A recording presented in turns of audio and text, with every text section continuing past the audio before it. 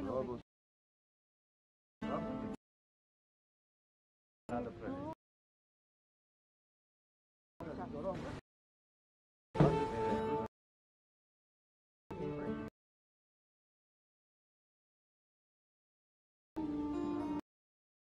The audio broadcast happened unexpectedly.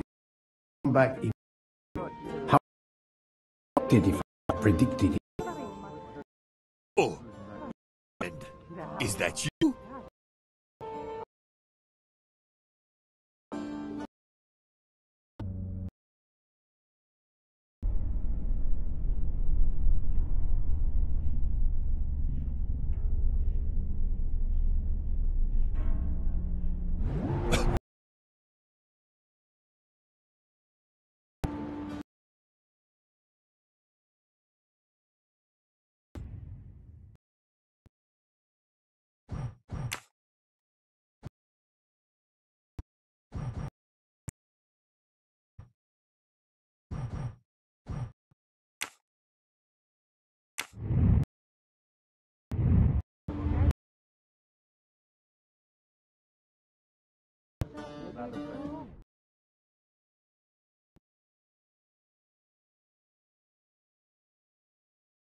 What?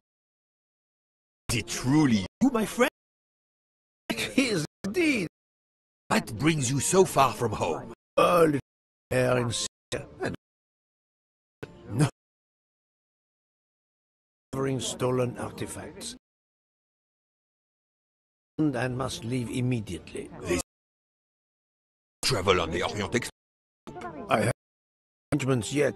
I just learned and, and I return to England. Very well. Pleasure to secure sleeper.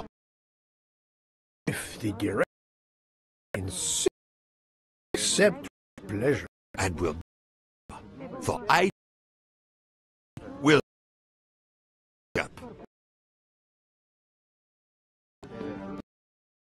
me, sir. You are the line. The princess. Or if she make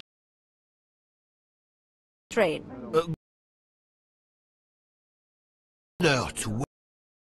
There is absolutely no problem for you. Oh yeah. To know. Ina's ex. uh, Baby Rhoda. Rodents, of princess. As you demand.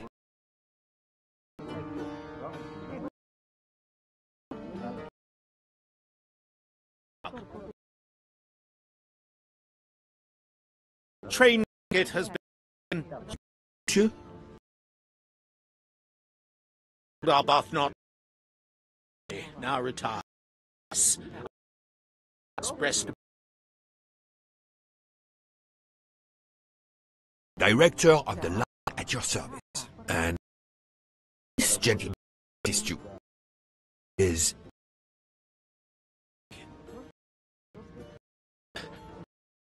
that train. Yesterday I recovered artifacts worth several millions. take it. It's Orient Express.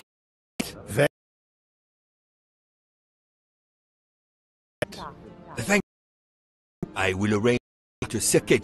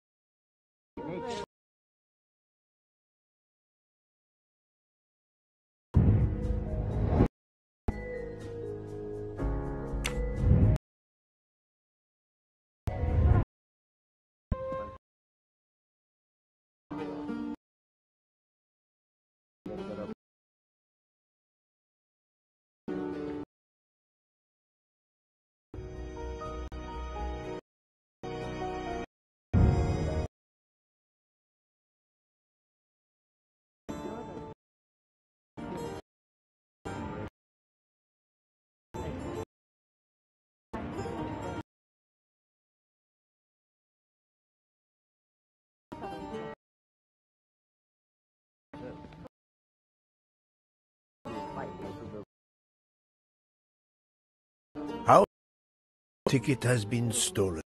I I breakfast and when I got back my ticket was gone and other things were on the floor and tossed about. Begin in your room. Will you lead the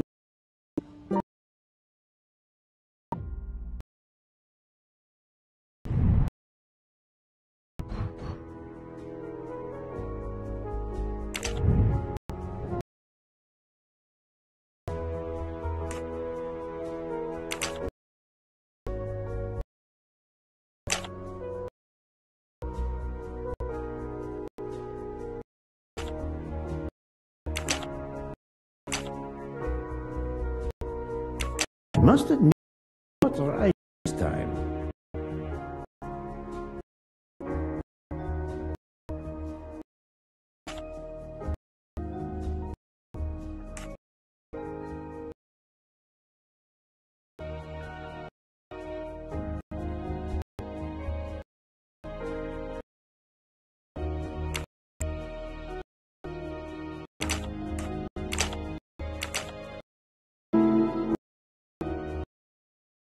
That's the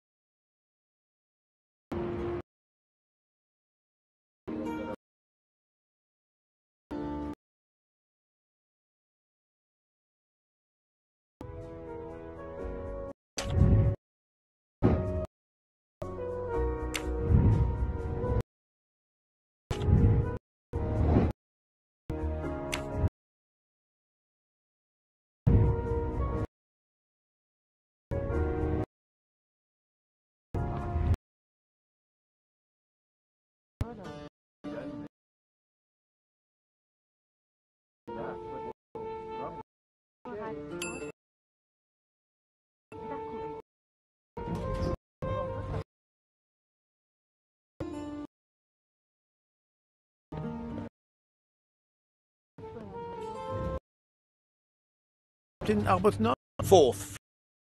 Hmm, one mystery.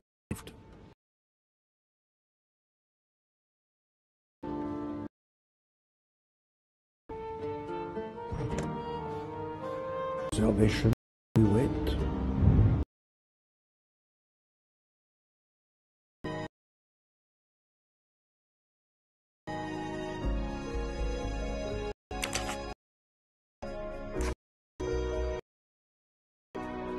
Arbuthnot. Archibald, formerly British Army, now retired. I'm taking Words Express, but what business is that of yours?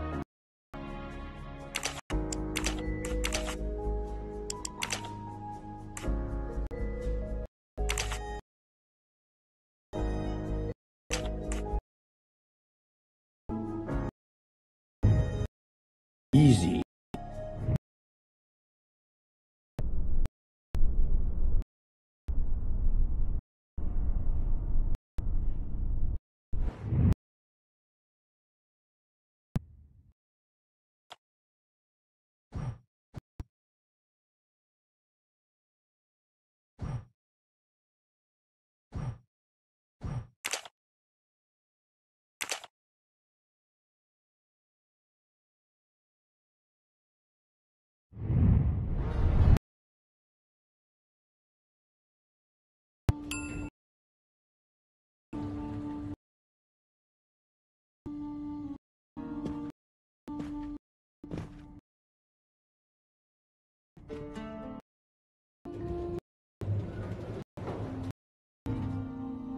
My room's along here.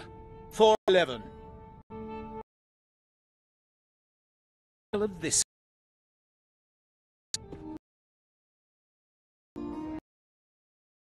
Oh, dawdle.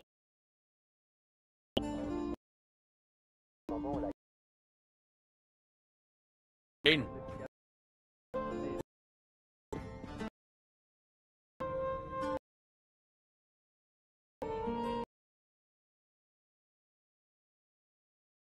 This is a foreign country. You. We will enter.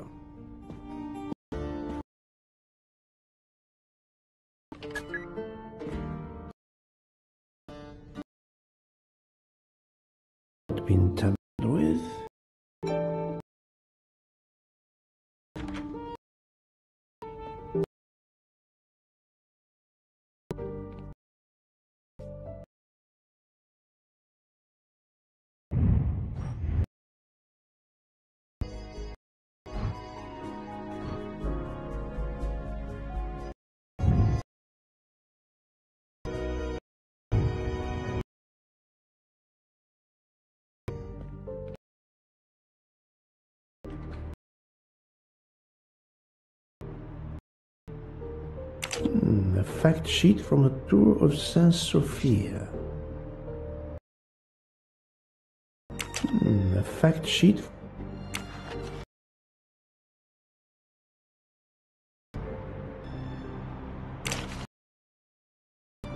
A brochure for this fascinating city.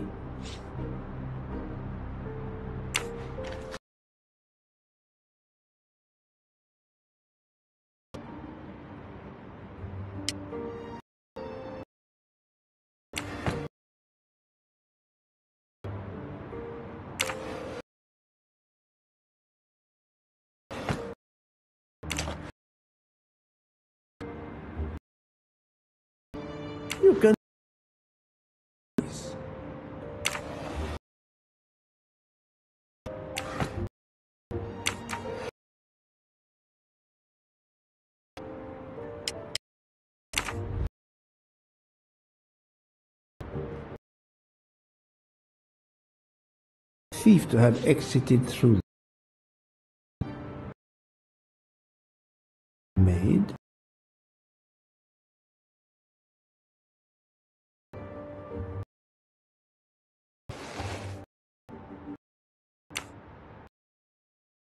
Or It contains just over $200 and the usual cards.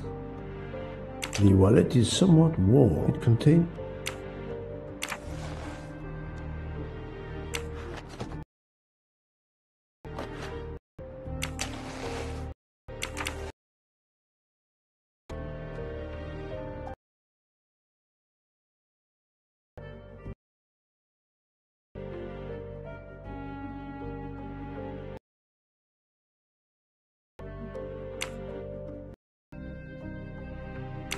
earring. It is not the first time I've seen it, but where? This earring. This ear.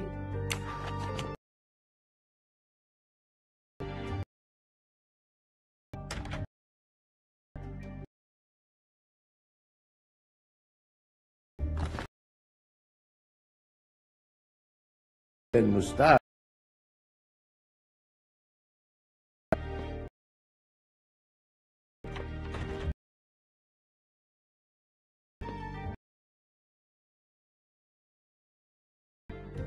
A perfume bottle.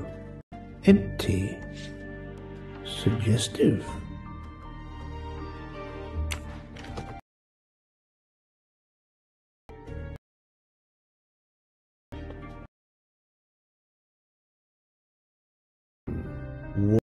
With trace is scented.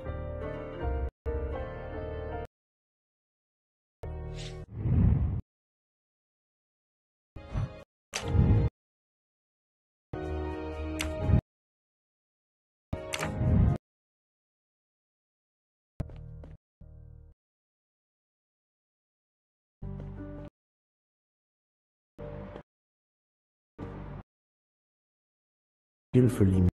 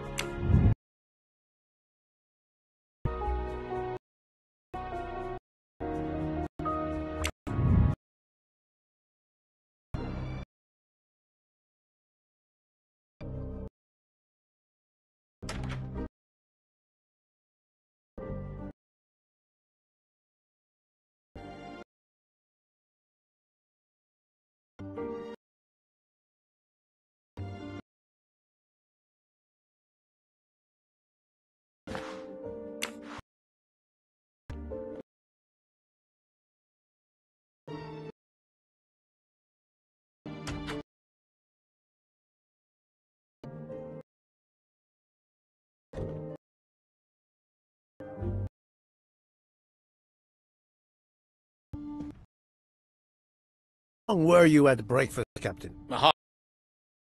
Just a roll and some coffee. How?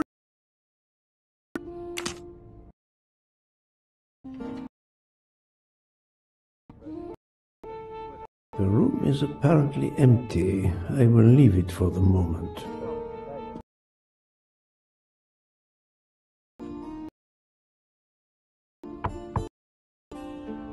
Go away, please. A brief word, sir. I will give you two brief words. Go away. Monsieur. I'm traveling all night from New York. Must I call the management? Pardon, monsieur. I do believe we have awakened a thief.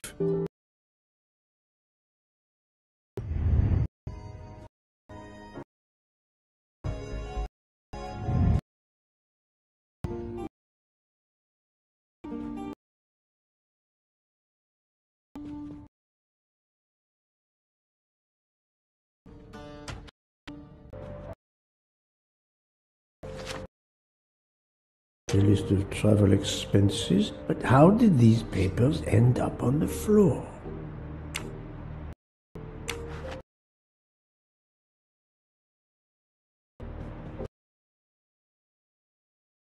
Reservation for the Bosphorus ferry.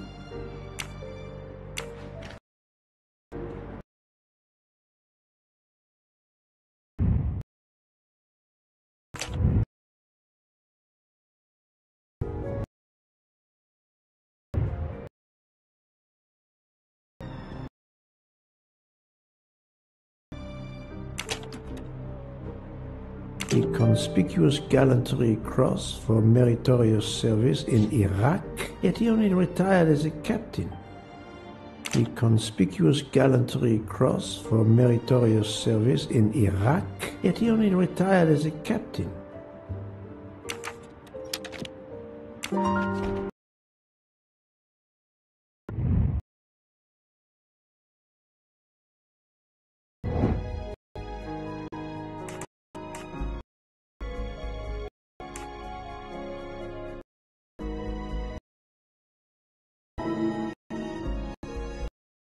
Einreich What?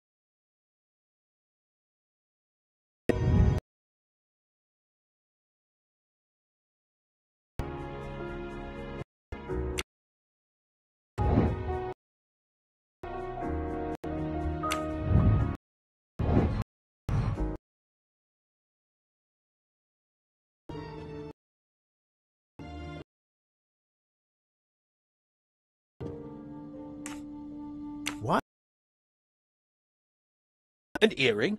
A previous guest, I suspect. I don't wear them. Did you leave the window open? I think not. The thief had wings. The be- are not military style. I'm not going to make my own bloody bed. Interesting pronoun that we.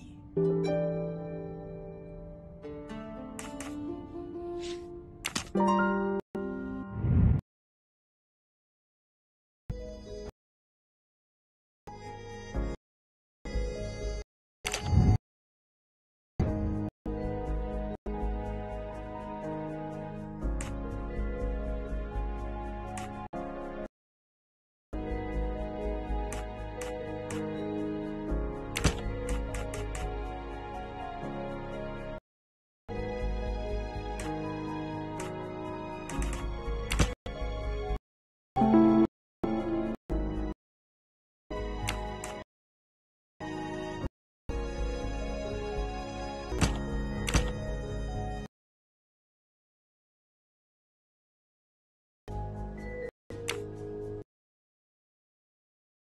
That's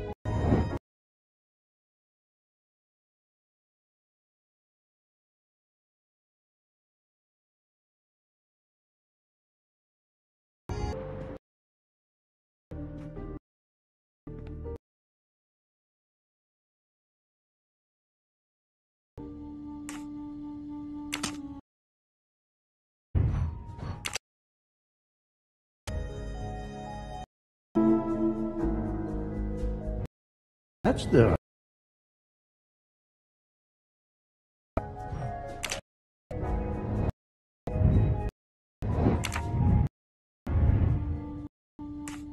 Cap was revealed. Rest assured we will soon find your ticket. It's a catch. As The Orient Express. If you will be we may both make Please give me an account of movements yesterday. Most of my day in Istanbul. Well, as the sun was setting, the can confirm I was alone when I locked up my key. I had no visitors in my room.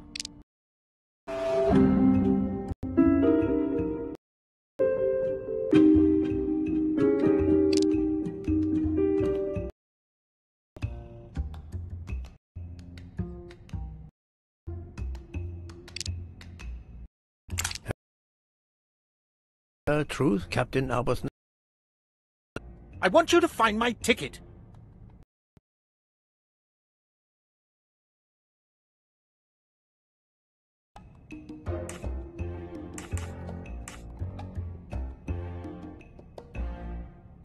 Can you explain the earring I found on the bedside table? An earring? Ah. Uh, uh yes. Uh, forgive me, Mr. Poirot. I had some business correspondence that wanted answering. The hotel provides help for business travelers. They said I dictated a letter, and she mailed it for me. I had noticed that she had lost an earring. And did you invite this uh, secretary? This woman may be the thief we are looking for. That was yesterday evening. Ticket was still there when I went. She can't have taken it. Hmm. Never mind. Easily checked. And uh, there was no other person in your room. Fine. Your job quickly. I'll be downstairs. May I? Staff begin. Every morning at breakfast time. And there are no guests in the room. Me? One of our staff stole the No, no, no, no, no. Do not distress yourself. We seek. And her at Ask her to bring her lawn.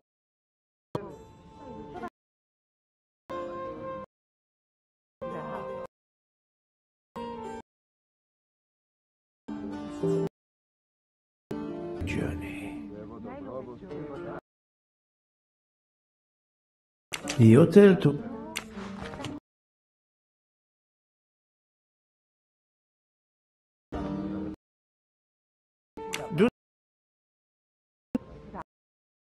Clean room for one this morning. Room? Yes, that.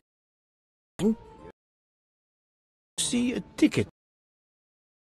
Uh, a ticket. It was a wallet, but of course I did not touch it.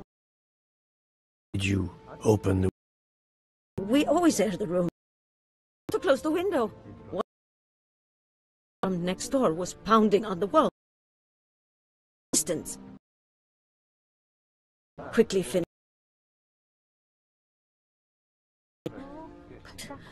I'm afraid I left the window open. I'm so sorry. window left open? Papers on the floor. Cleaning the room. I believe visualize what happened.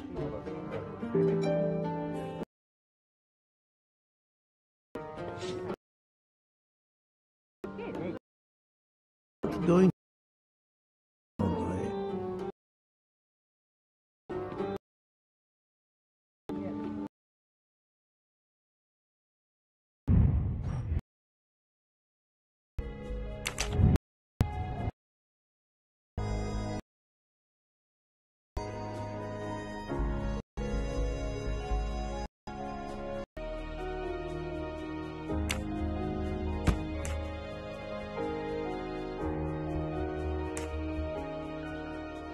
must admit I'm not right this time.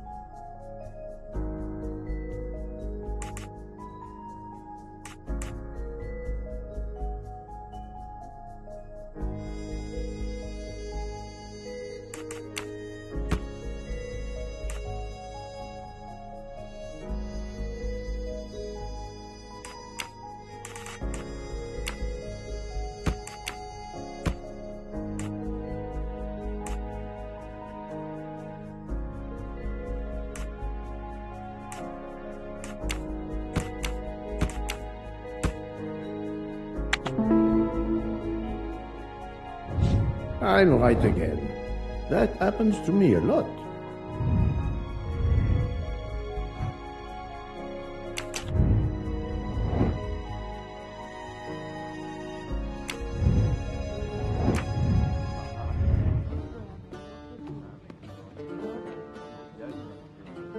Poirot is not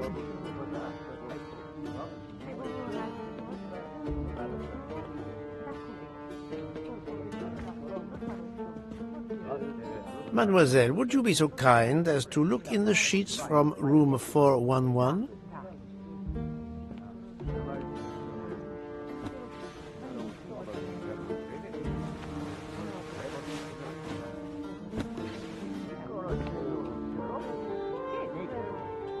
And so the missing train ticket completes its strange journey.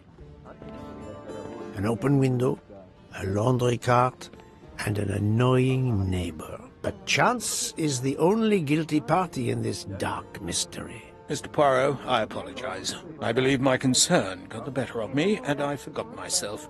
Thank you. It was a case of great magnitude. I'm glad I was up to the challenge. And that, I think, is that.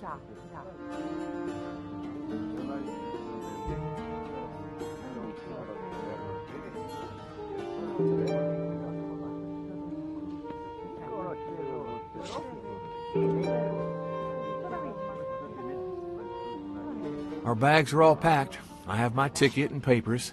If you give me yours, I'll hang on to mine. But as your secretary... As my secretary, you see to the bags, Hector. Yes. Yes, sir. That man, I have a curious impression of him, as if I were observing a wild animal, uncaged.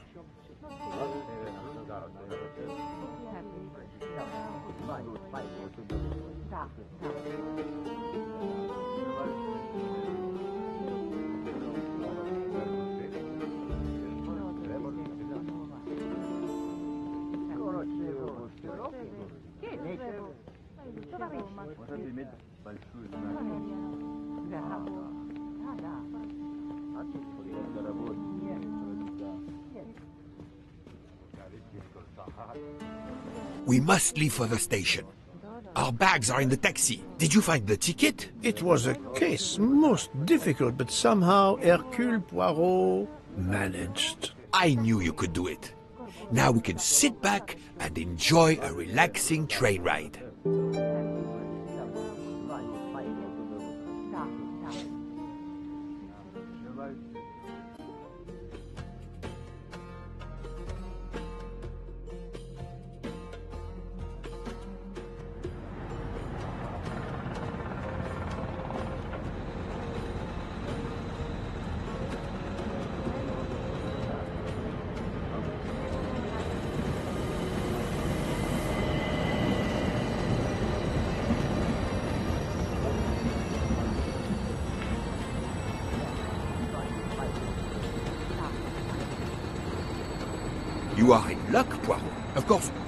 Journey on this train is ever ordinary, but this is a special occasion. To celebrate the 140 years of the Orient Express, the engine will be none other than the splendid Pacific 231G558. There she is, Poirot. The most celebrated train in history. My eyes fill with tears of pride. It is time we were aboard, my friend. Follow me. The wagon-lit conductor, Pierre Michel, will direct you to your compartment. Lead the way, Bouc. It was built in France in 1922 by the Compagnie Batignolles-Châtillon. At the time of its purchase by the SNCF in 1938, it could reach speeds up to 130 kilometers per hour. Wait until you see. It is like traveling back in time. Today the train is limited to 100 kilometers per hour. I assure you, that will be more than fast enough to get you to Paris in time for your connection to London. In the meantime, you will bask in the magic that is the Orient Express.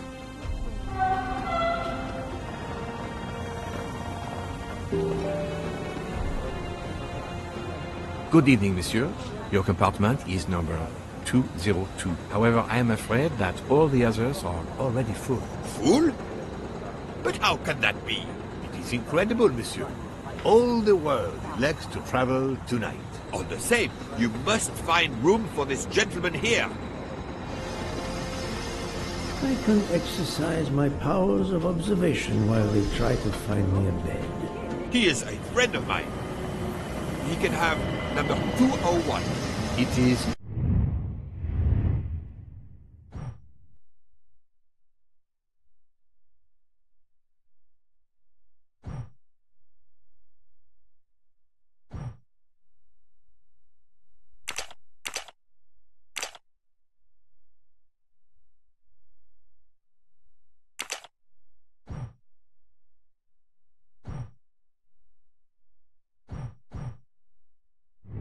taken.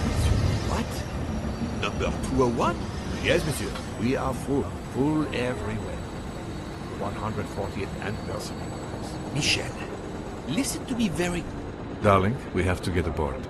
I know, I know. I have heard of the phobia fear of flying, but fear of trains? Now you're making fun of me. Never mind. We'll board shortly, once our compartment is ready.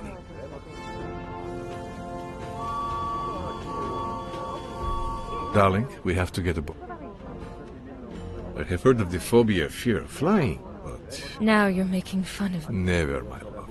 We'll board shortly, once our compartment is ready.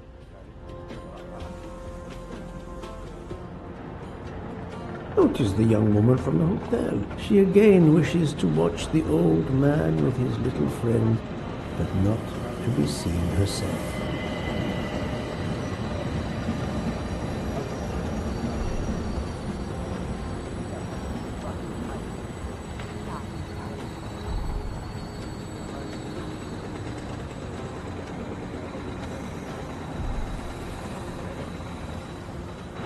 Is everything aboard the train, Hector? In your compartment, Mr. Ratchett. I'm having them disinfect the room again as you instructed. I also got a call from the Indians. The sale is going through as you expected. There was never any doubt. No other phone calls, Hector? From Geneva or Venice? No, sir. Who were you expecting? Never you mind. Check our tickets. We're not going in until everything is confirmed. The young man seems quite agreeable, but the other, the older man, is something quite different.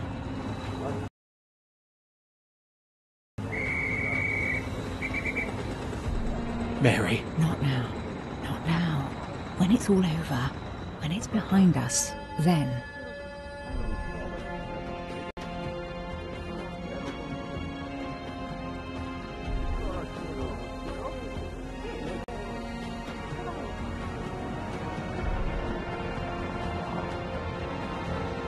Notice the young woman from the hotel. She again wishes to watch the old man with his little friend, but not to be seen herself.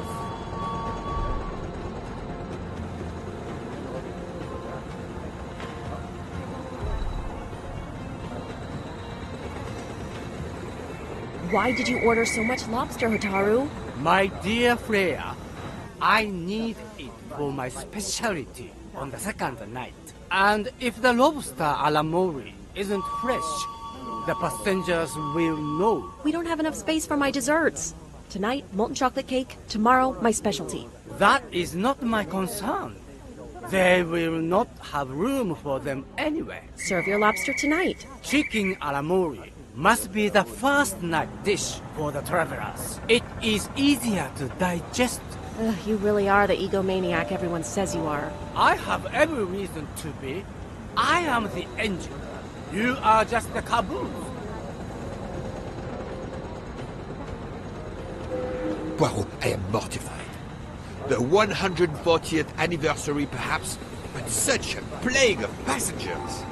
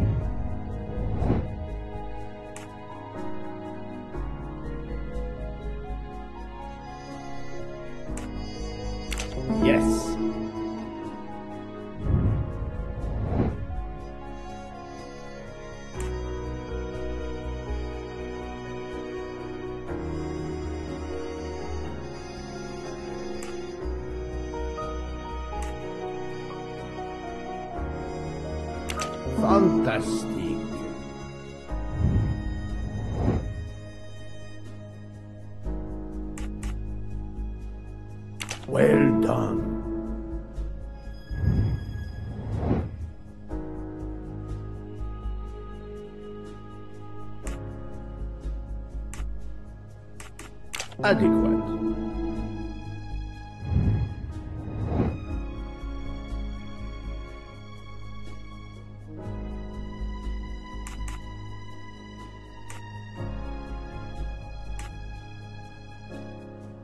Great. I'm right again. That happens to me a lot.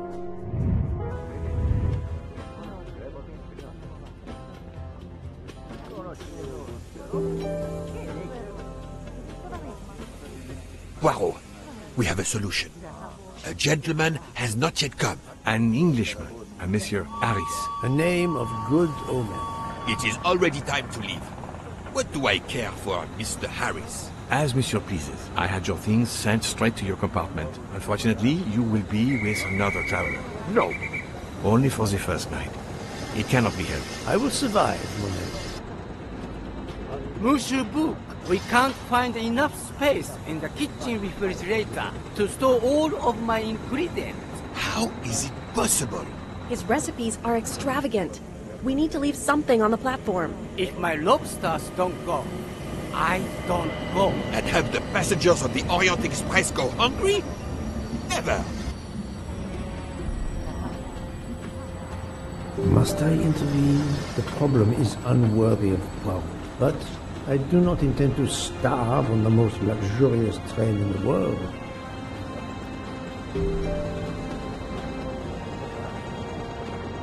Thank you for coming to help us. It is impossible to fit everything into the Gary's refrigerator. Obviously, my entree are more important than dessert. If Mr. Mori delays his lobsters for a day or two, we can restock at another station. Delay?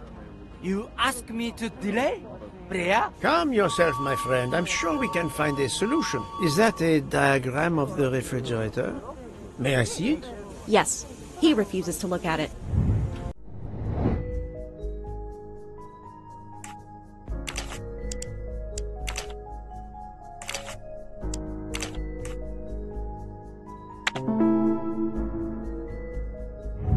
My little gray cells did not let me down.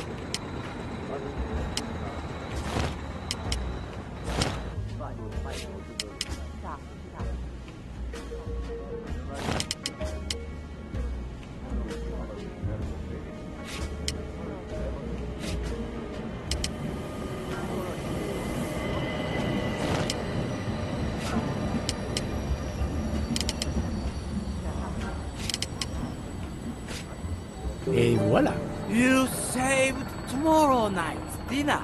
Mr. Poirot, I will reserve the finest lobster just for you. I look forward to it, monsieur. And to the dessert, mademoiselle. Hopefully. That won't be the last mystery you face on our journey, my dear Poirot. Your compartment for tonight only is at the back of the second-class carriage, number 102. Tomorrow, you move to a private compartment.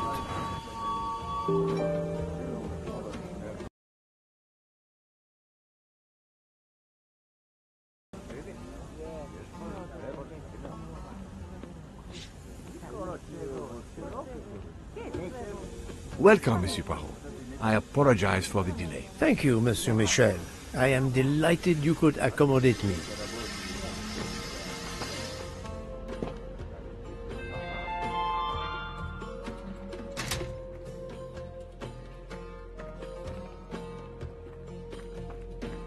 Wrong compartment.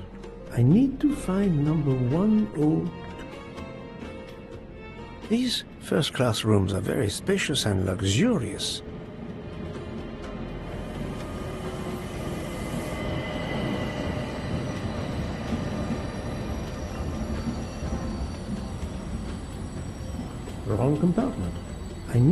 Find number 102.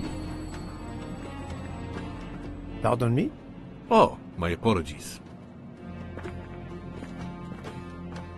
Wrong compartment. I need to find number 102.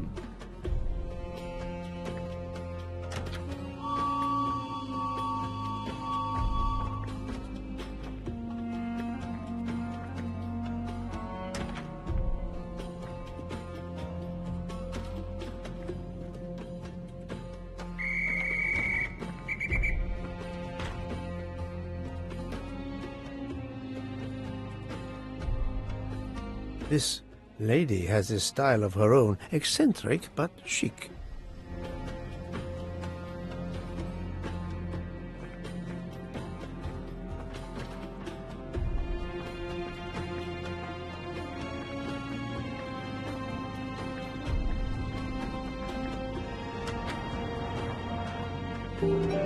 Excuse me, I think you made a mistake. You are Mr. Harris? No, my name is MacQueen. I... There is no other berth on the train, monsieur. All is arranged. Yours is the upper berth. We start in one minute. The train's remarkably full. En voiture! Listen, sir, if you'd rather have the lower berth, easier and all that, well, that's all right by me. No, no, no, no, no. You are too amiable. It is for one night only at Belgrade. Oh, I see. You're getting out of Belgrade. Not exactly.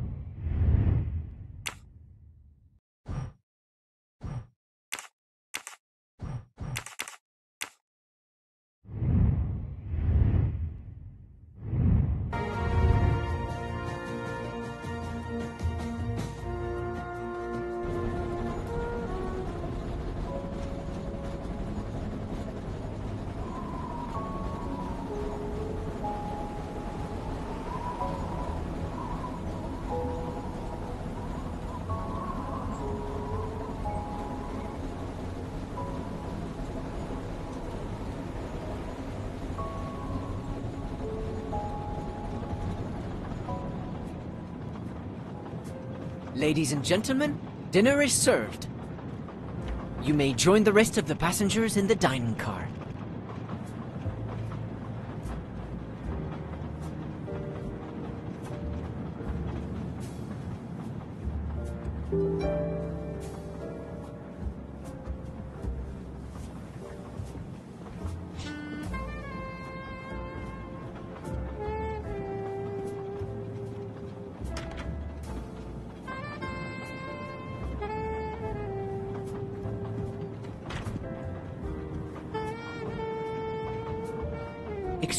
Monsieur. Pierre asked me to inform you that a passenger left us, so his room is yours. Monsieur Bouc instructed that your things be transferred to room 202 during dinner. You will be more comfortable in first class. It is true what you say. Thank you, uh, Mr. Fauché, monsieur. Where will my new compartment be? Room 202 is at the far end of the previous car. I see, thank you. What is your position on the Orient Express? I manage the bar car, and I also do the restaurant car service. Well, then do not let me keep you. Lobster tonight, isn't it? Yes, indeed. I'll leave you to it then. See you soon, monsieur.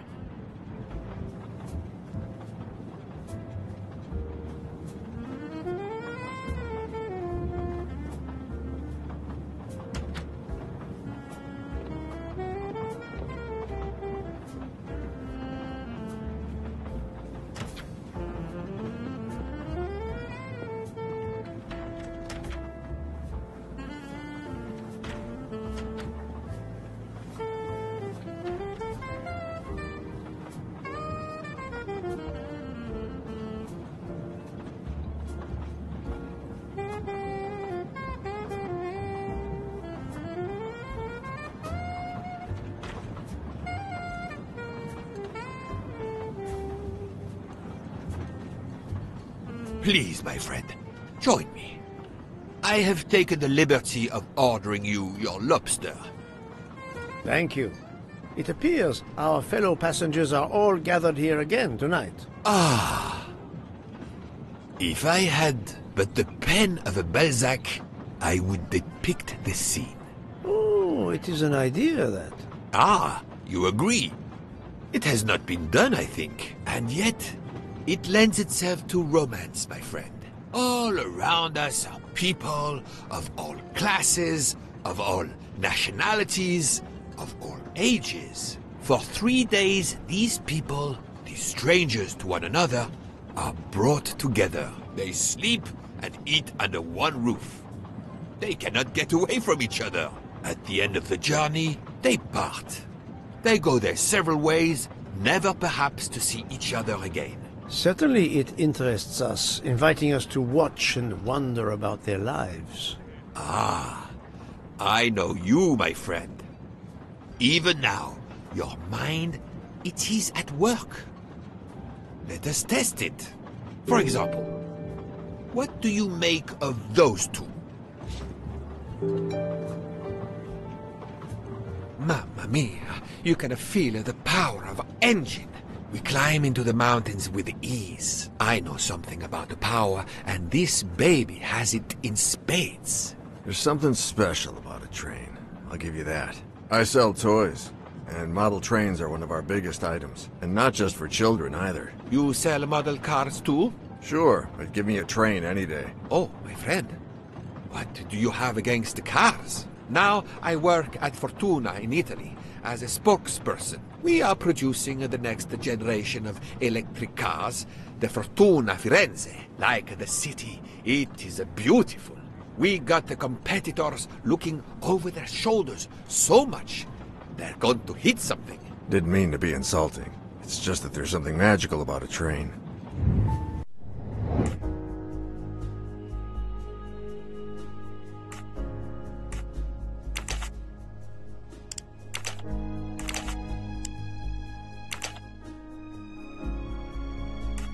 Think, Poirot. That is not a good answer.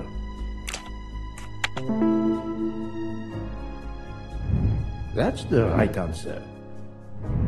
The loud gentleman is very confident, a master of his own fate. It is as much in the inflection as it is in the words. He believes in winning, also that he is the one who will win. You are a magician. Oh, it is not a parlor trick, my friend. It is simply observation.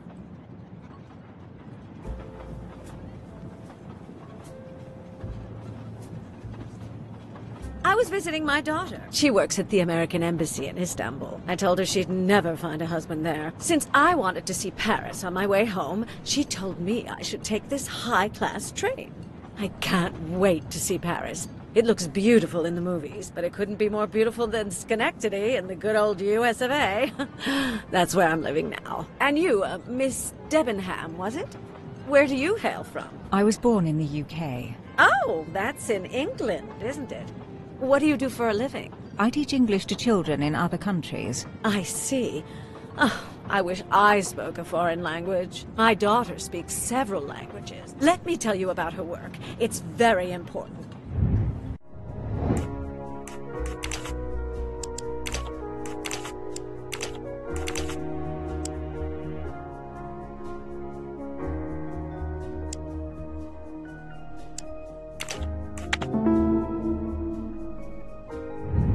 That was easy. There is much you can learn about someone just by observing them and listening. For example, that lady is reserved. She reveals little. She is self-contained. Some secret prompts her to allow her dinner companion to carry the conversation. I confess, in this case, what I witnessed in Istanbul suggests more, but I will respect her privacy. You will always amaze me.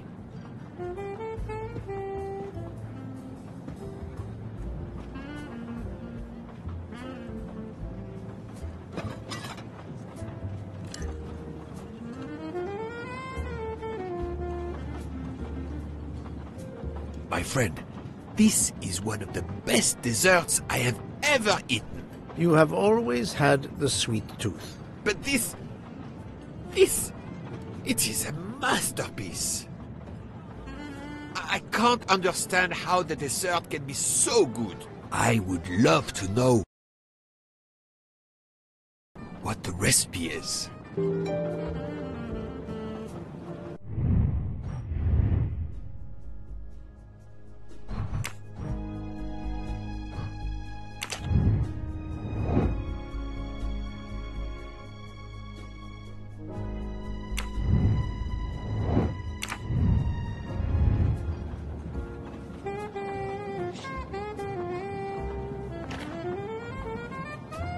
I couldn't tell what flavor the ice cream is.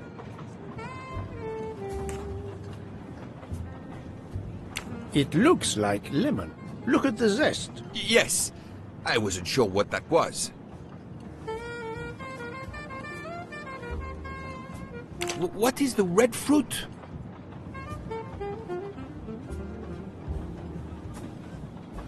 It looks like a raspberry. Hmm, you have a good eye, Poirot.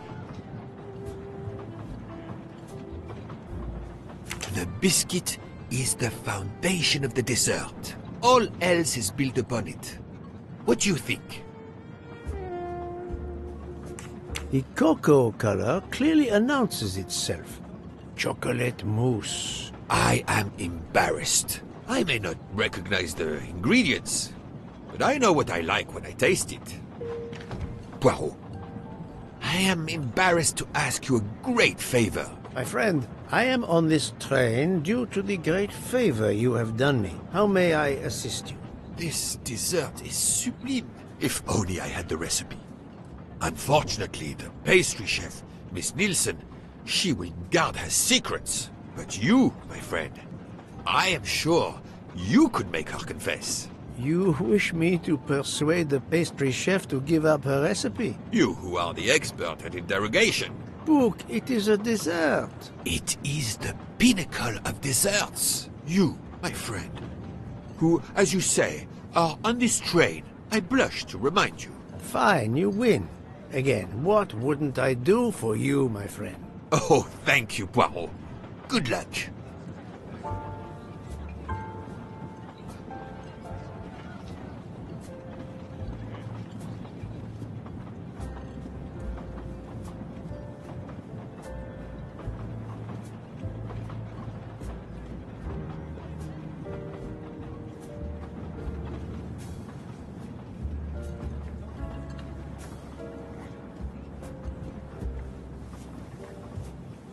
Good evening, mademoiselle. Good evening, sir. How can I help you? That was a magnificent dessert you served us tonight. I wanted to tell you personally how much both Monsieur Bouc and I enjoyed it. Thank you very much, sir. In fact, it is so good. Monsieur Bouc insists on knowing how you made it. Oh, sir, I'm sorry. You must know a chef never gives away their recipes. But, well, you helped with the refrigerator, and without space in it for me, there would have been no dessert. Very well.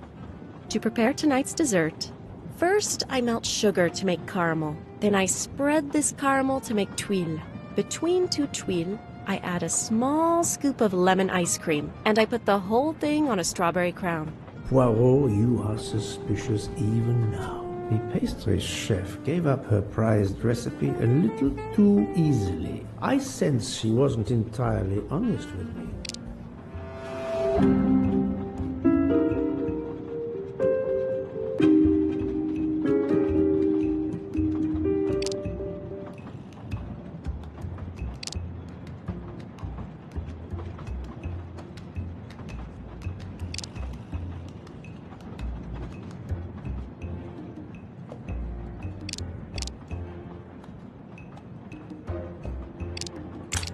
Know there is a clue somewhere to prove she's lying. She may be telling the truth, but I cannot be certain.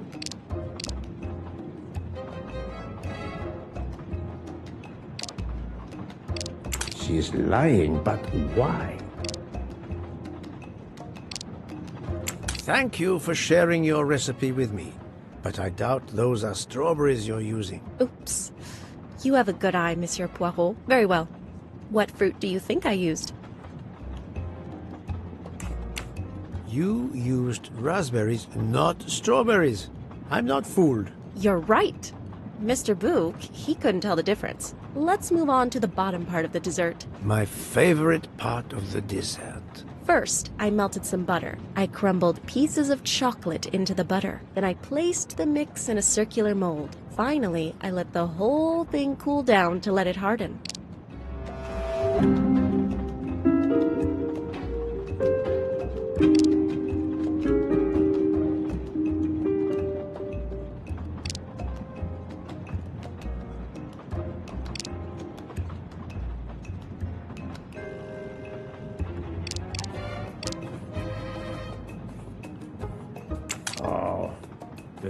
Cannot hide from Poirot forever.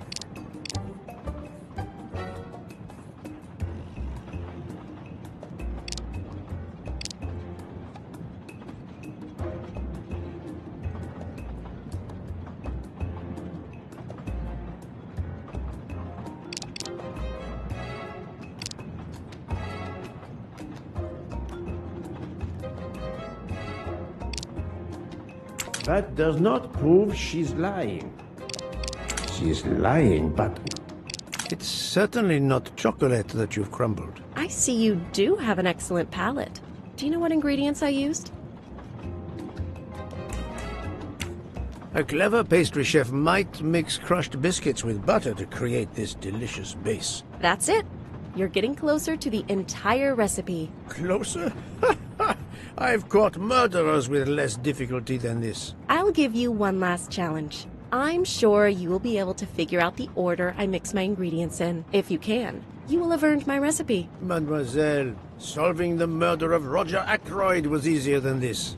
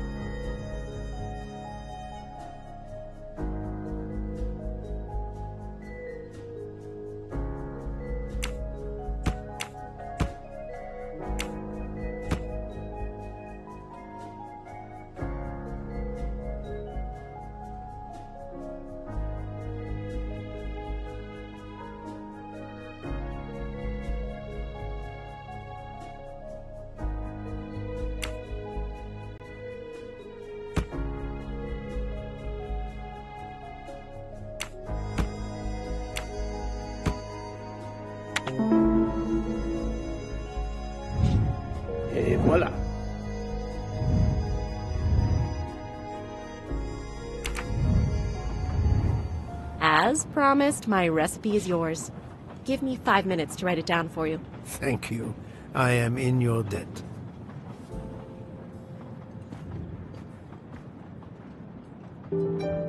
I can take advantage of this moment to resume my little observations of the passengers. Did you enjoy the meal? I'm not used to meals like this. You do not have good restaurants in Kenya? Actually, we do. This isn't the 1930s. I did not mean to offend. You didn't like the meal? The lobster, it was undercooked, and the potatoes were too dry. I expect, being Princess Dragomirov's assistant, you must be used to eating well. Cooking is an art. You do not need to wear the chef's hat to be an artist. What is your favorite dish? Currywurst. It is a specialty of mine.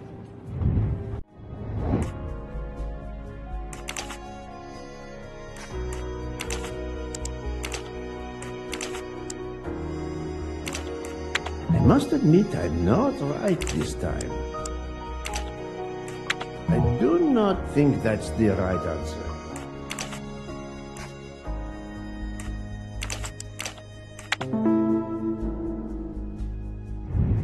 I'm right again.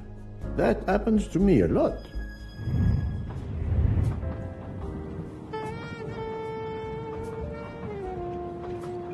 I made a lot of progress on the expenses last night, sir. I should be done by tomorrow morning. You're supposed to be a fast worker, Hector. Sorry, sir. Working here is not as comfortable as in our office in Boston. You're lucky to ride in a train like this.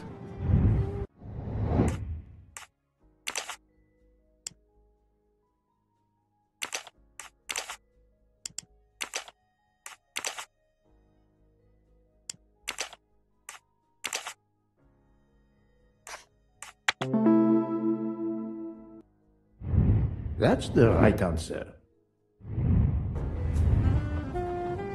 Here you are, sir. My recipe. Please tell Mr. Bouc he should not expect my recipes for the other desserts. Thank you very much, mademoiselle. I know he will sincerely appreciate the gesture, and I will make certain he gets the message.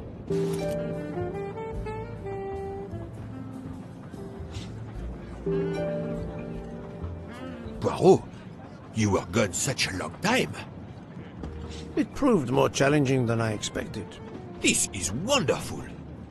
Did it require the use of your little grey cells? More the exercise of my little taste buds. Thank you so much, my friend. Eat your dessert. You've earned it.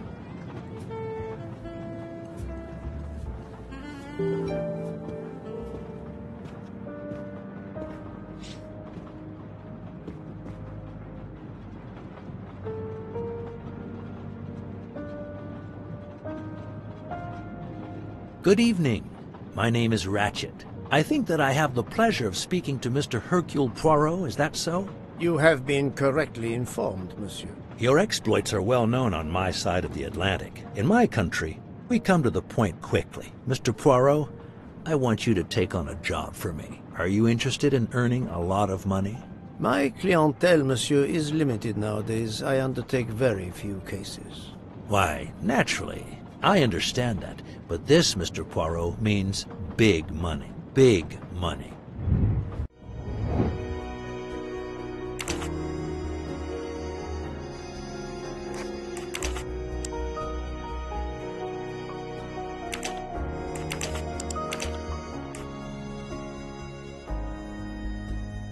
This is wrong, but I'm never far from the... My little grey cells did not let me down. What is it you wish me to do for you, Monsieur uh, Ratchett? Mr. Poirot, I am a rich man. A very rich man. Men in that position have enemies. I have an enemy. Monsieur, in my experience, when a man is in a position to have, as you say, enemies, then it does not usually resolve itself into one enemy only. Yes, I appreciate that point. Enemy or enemies, it doesn't matter. What does matter is my safety. My life has been threatened, Mr. Poirot. Now, I'm a man who can take pretty good care of himself. But as I look at it, a little insurance wouldn't hurt. And remember, big money. I regret, monsieur, that I cannot oblige you. What's wrong with my proposition? If you will forgive me for being personal, I do not like your face, Mr. Ratchett. Now, if you wouldn't mind, I'd like to finish my coffee peacefully.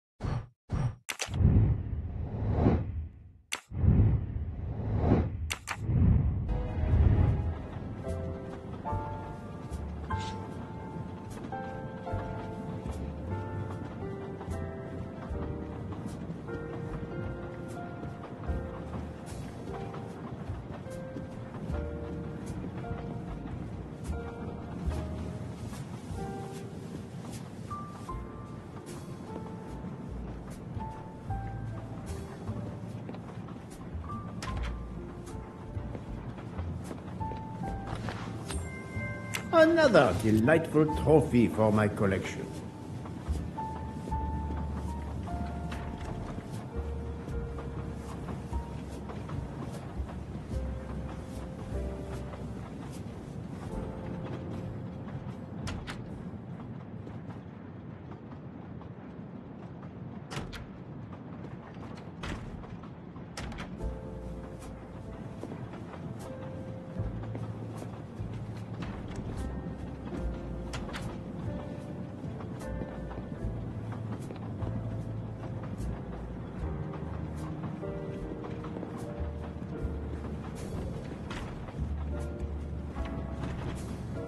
Nightcap, Monsieur Poirot? A cup of coffee, Monsieur Fauché. Then I will retire to my new compartment. I am sure you will find it to be most comfortable.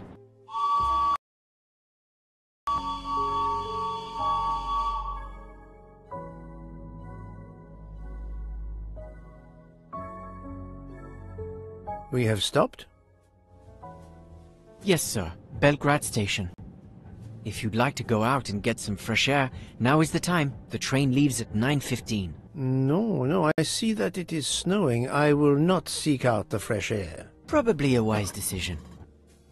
May I suggest a chocolate to accompany your coffee? It is produced by my father, the best chocolatier in Switzerland. I would never refuse a chocolate with such high recommendation. I know you will enjoy it, and please let me know if there is anything else you require.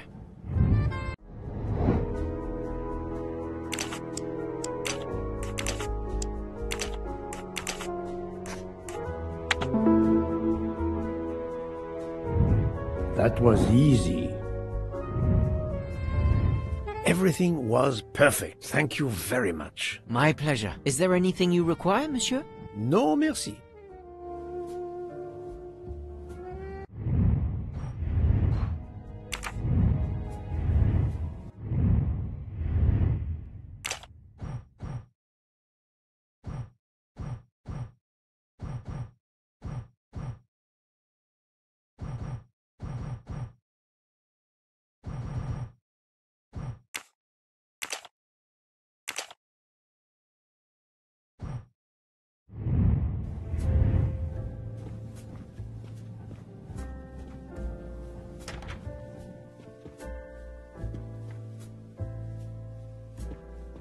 I thought you'd left us. You said you were getting off at Belgrade. You misunderstood me. But, man, your baggage, it's gone. It has been moved into another compartment, that is all. Oh, I see.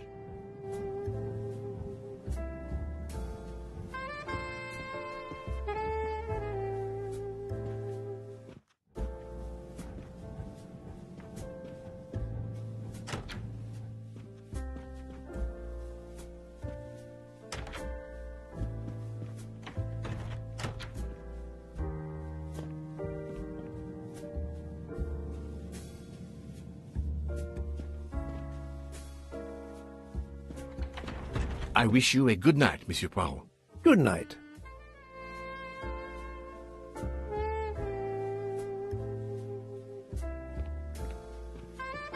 I hope you'll sleep well and that your head will be better in the morning.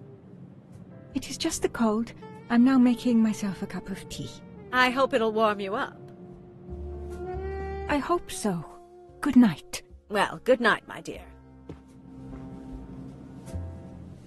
What a brave girl. On the other hand, that man there in the next cabin, Monsieur Ratchett, he scares the hell out of me. There's something wrong about that man. My daughter always says I'm very intuitive. When Mama gets a hunch, she's dead right. That's what my daughter says. And I've got a hunch about that man. He's next door to me, and I don't like it. I put my bags against the communicating door last night. I thought I heard him trying the handle. Well, whoever you are, I'm going right to bed to read. Good night. Good night, madam. Whoever I am?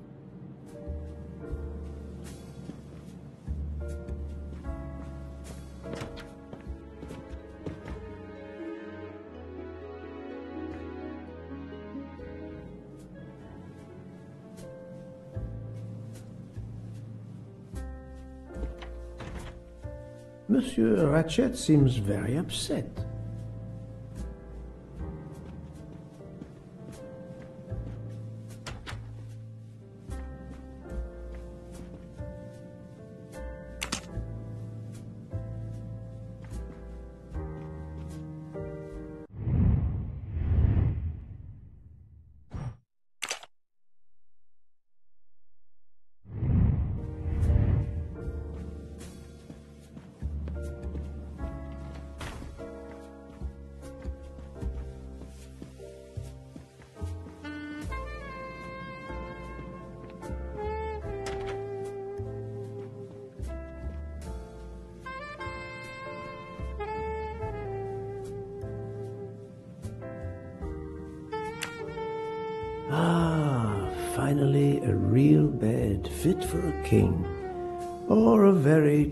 Detective.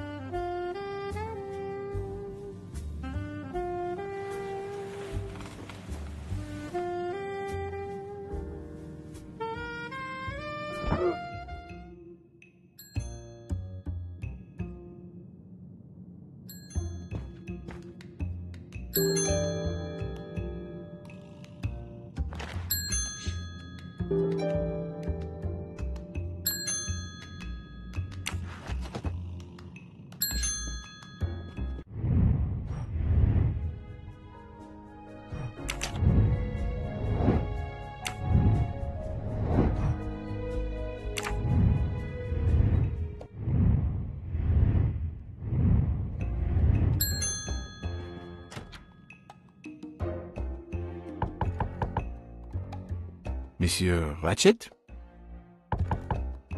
Ce n'est rien, je me suis trompé.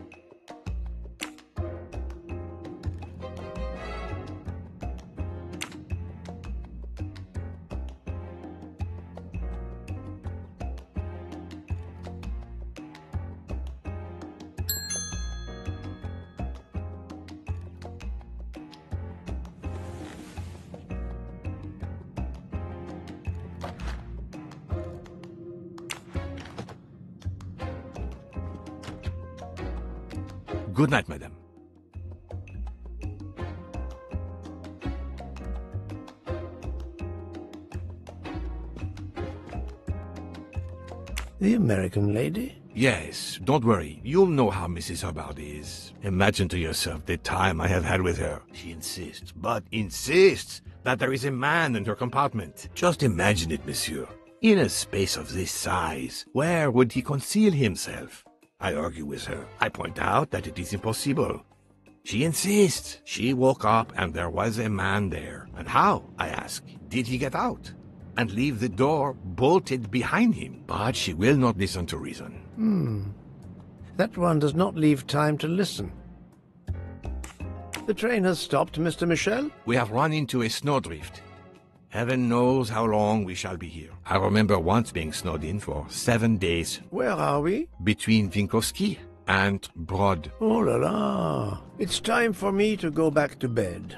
I wish you a good night, monsieur. Or what is left of it.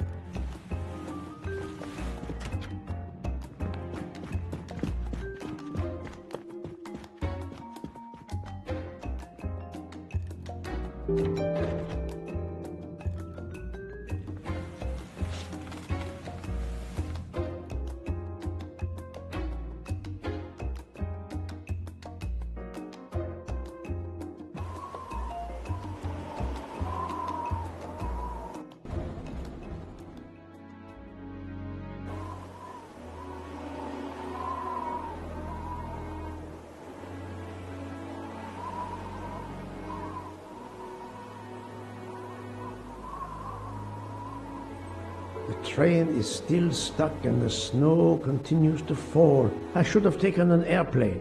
Well, I must make the best of it and join the other passengers for breakfast.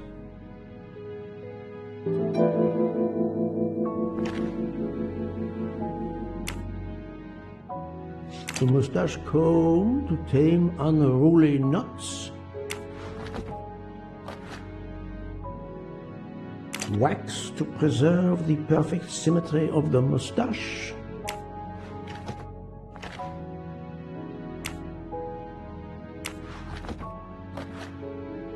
The finest of curling irons for the mustache.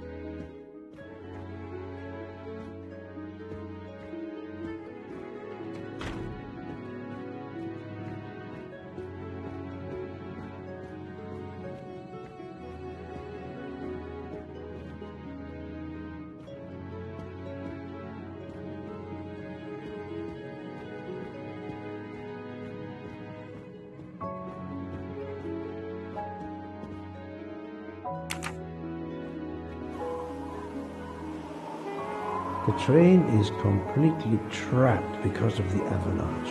Hopefully, not for too long.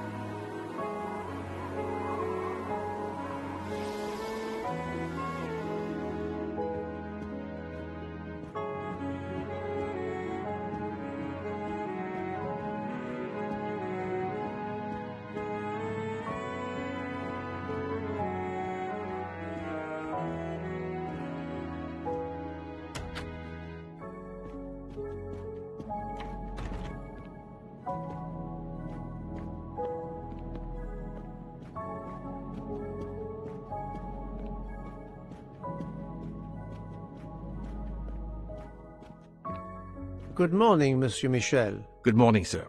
Please enjoy our special breakfast in our restaurant.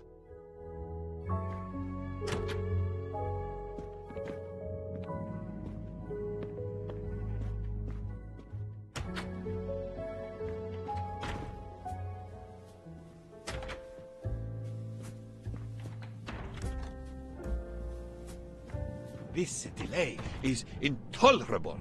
I am supposed to be demonstrating the Firenze in Paris in two days. Ah, your electric car. Yes, that's bad luck. Bad luck? If I miss that demonstration, I'll be in deep trouble.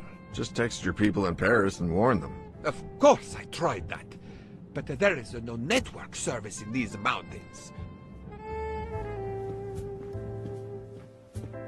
My daughter said it would be the easiest way in the world. Just sit on the train until I got to Paris. And now we may be here for days, and my boat sails the day after tomorrow. How am I going to catch it now?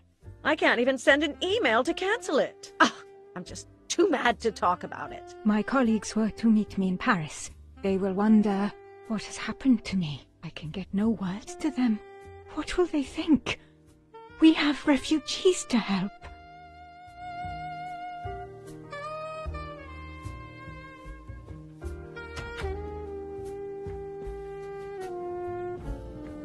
Good morning, madam. The snow is a predicament, is it not? I am Russian.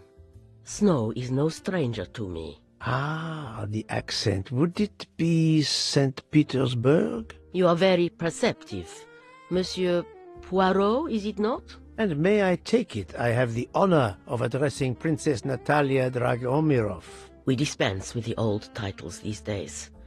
My husband, all of my past, was taken from me by these Stalinists. When they were gone, I became director of the St. Petersburg Museum of Antiquities to restore and preserve what I can of my country's history. Still, the delay must be vexing.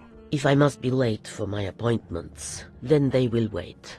I know that I would certainly wait, madame. It has been my extreme pleasure to make your acquaintance, madame. Au revoir, Monsieur Poirot.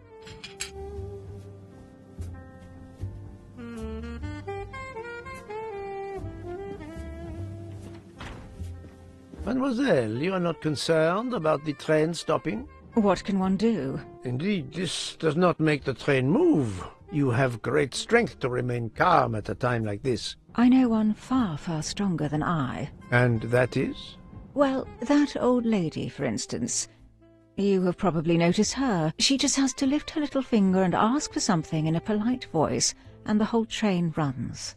It runs also for my friend Monsieur Bouc, but that is because he is a director of the line, not because he has a masterful character. You don't have to have a strong will when you have power. But I suspect I did not need to tell you that, Mr. Poirot. Mr. Poirot. I'm sorry.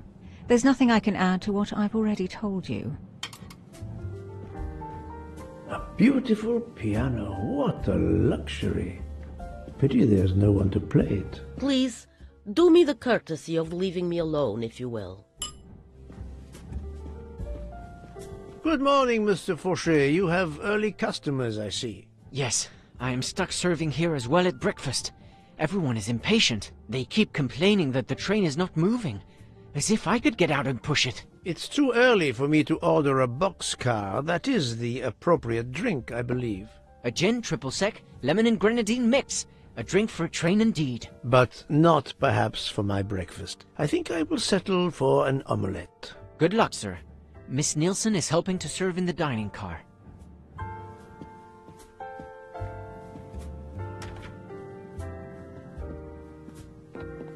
The Orient Express bar is certainly well stocked.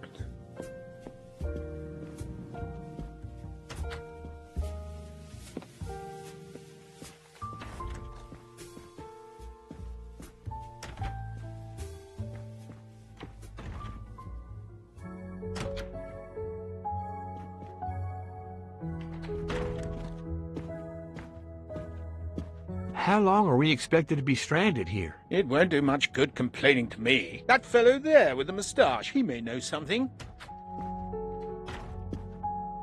Excusez-moi, sir. Yes? Monsieur Bouc asks for you to join him in compartment 203.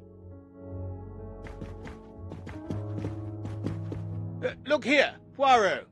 Can you tell us anything? I can tell you the snow, it will not move aside on its own. Of course. But you obviously have some influence with Bouc. I am going to see him now. I will ask him if he has any...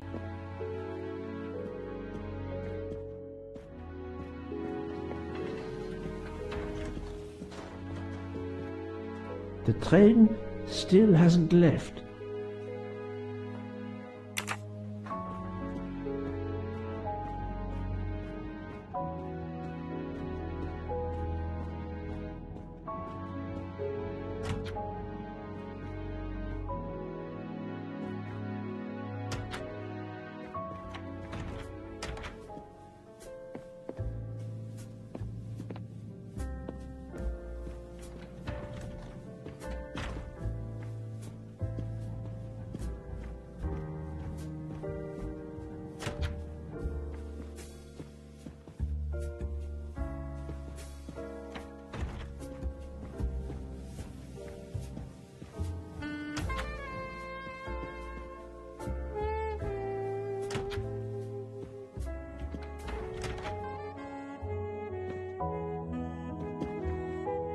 Monsieur Bouc is waiting for you, in front of room 203.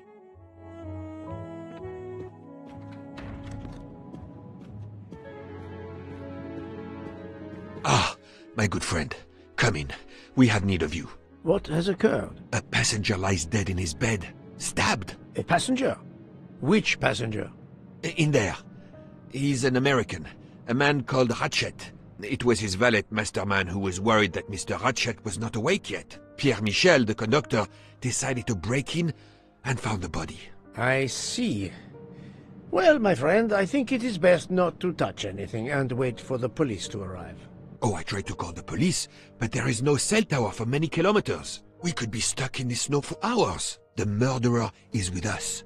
On the train, now! The sooner we catch him, the sooner we'll be out of danger. The Dr. Constantine is already examining the body. Mon ami, this is not a missing train ticket. We must follow procedure. We must wait for the police to secure the crime scene. Please, Poirot.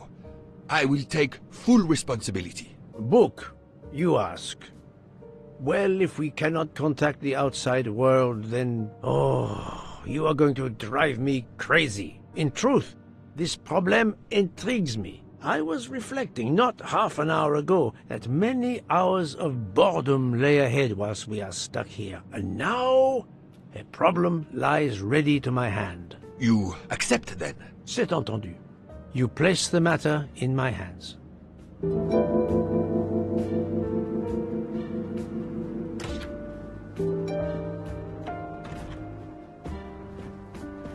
Mr. Poirot, I am Dr. Constantine.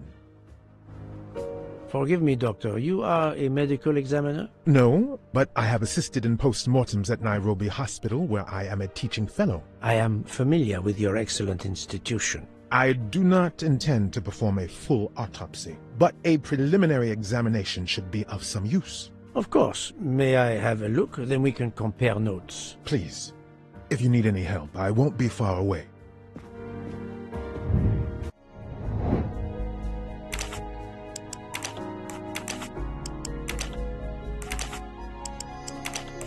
Think, Poirot. That is not a good answer. I do not think that's the right answer.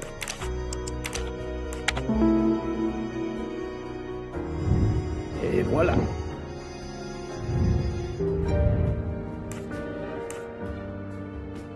Thank you for your help, Doctor.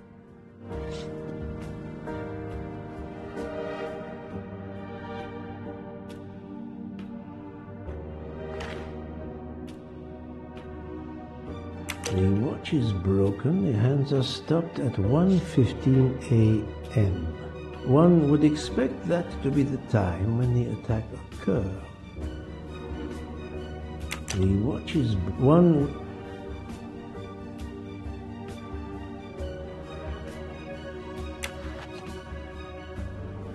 As you see, the victim has been stabbed many times. Several alone would have been fatal.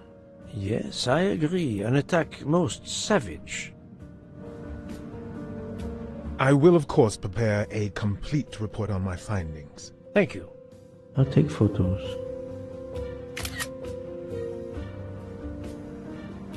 As you see, the several... Yes, I...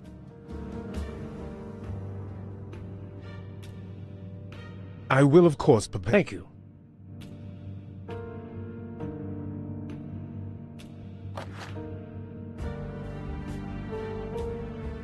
Did it belong to Ratchett?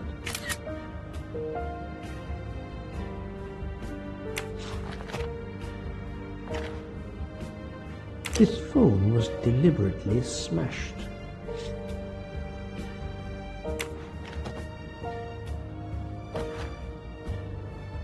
A handkerchief. There's a letter H embroidered on it.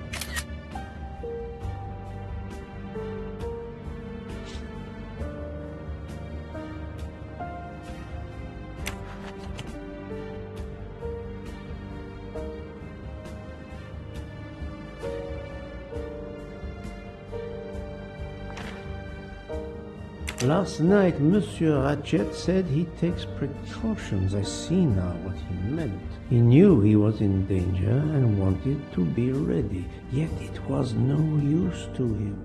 I will leave it here for the police.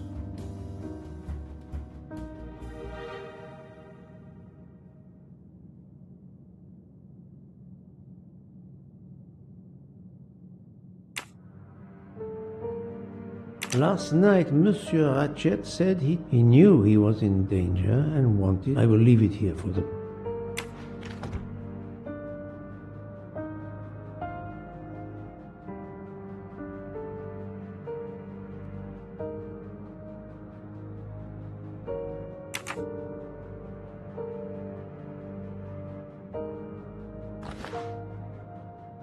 I'm sure I will find some interesting things inside. I'm sure I will find some inter. I'm sure I.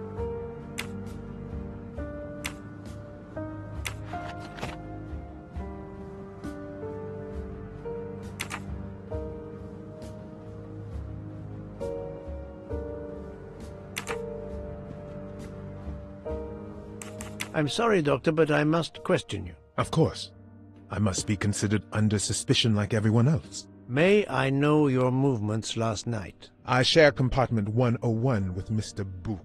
He would not stop talking about his beloved train. I listened to him for hours talking about his Orient Express. My friend Bouc will no doubt confirm this. Did you know the victim? Not at all. I noticed him last night at dinner, but I did not pay much attention. Did you touch anything in here this morning? I checked for a pulse. There was none. Rigor mortis had commenced. The body was cool to the touch. I touched nothing else. What can you tell me about the victim? He died from multiple stab wounds of varying angles and depth. More than one would have been fatal. I would place the time of death roughly between midnight and 2 a.m. With more time, I hope I can be more precise. I assume the open window complicates matters. Indeed. Conditions are not perfect.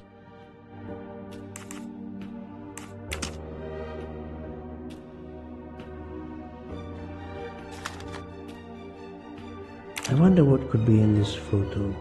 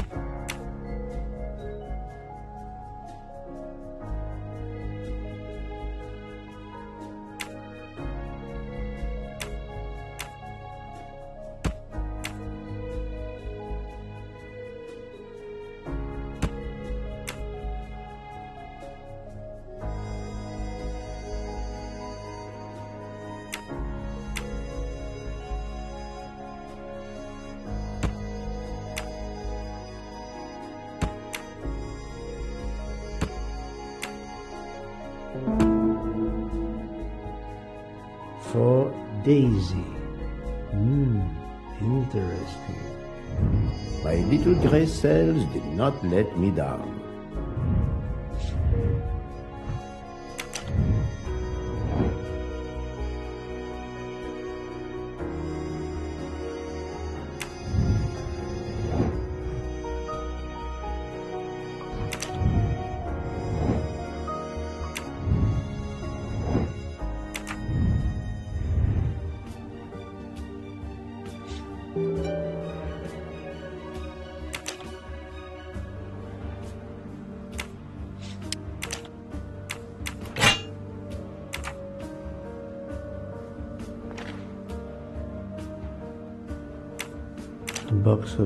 sleeping pills.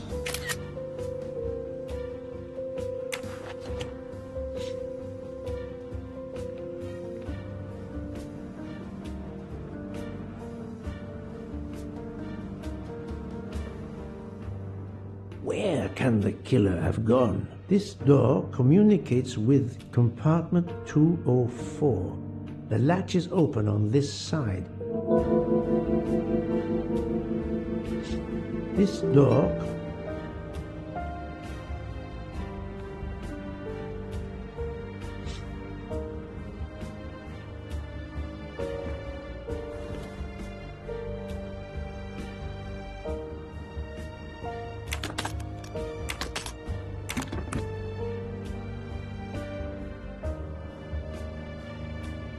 expensive clothing, recently laundered.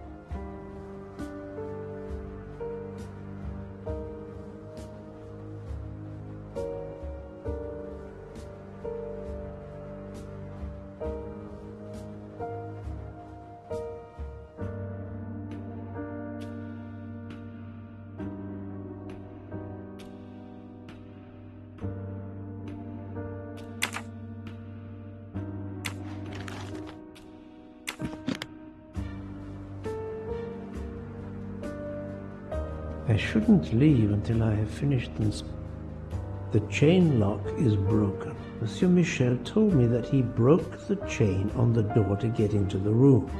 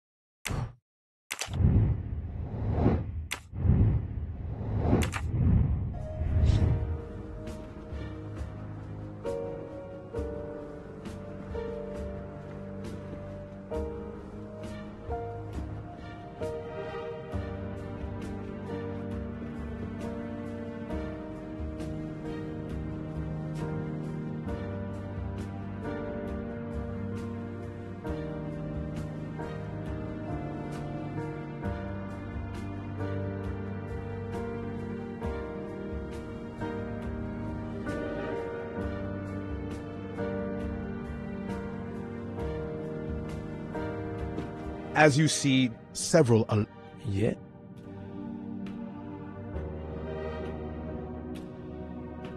I will. Thank you.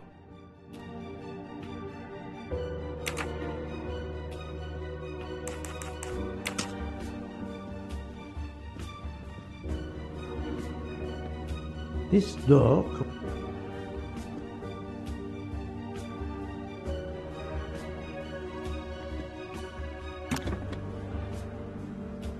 Expensive clothing.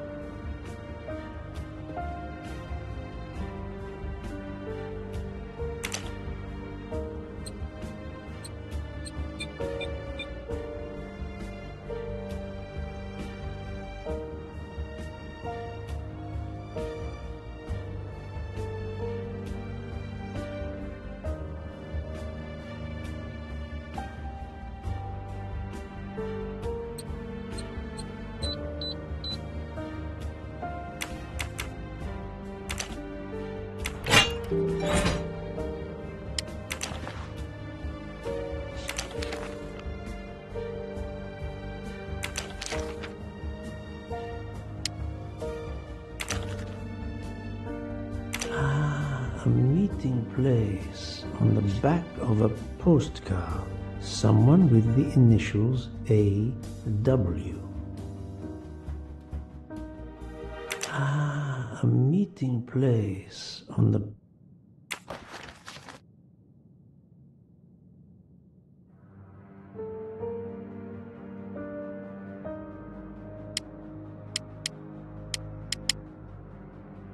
Ratchett had an appointment he will never keep.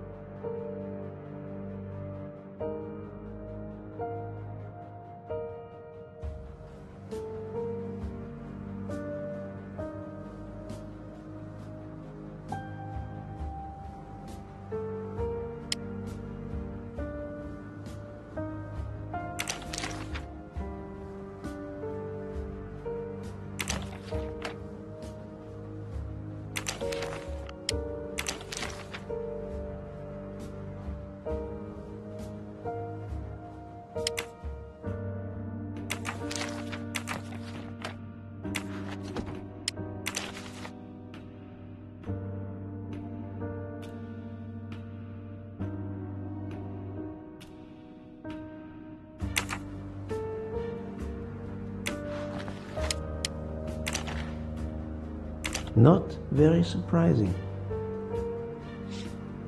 Not very. Su-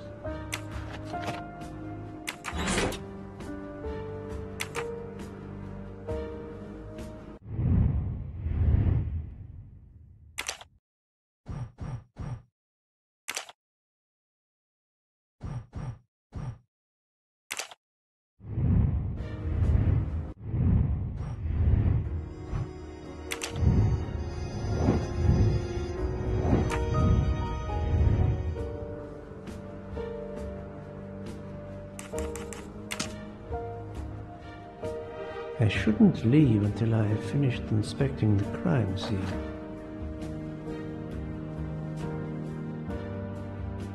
Box of box of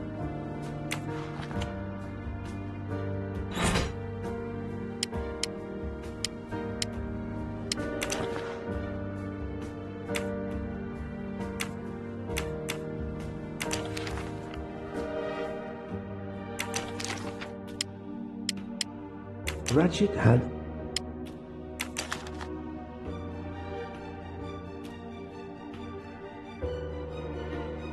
Ah, ah.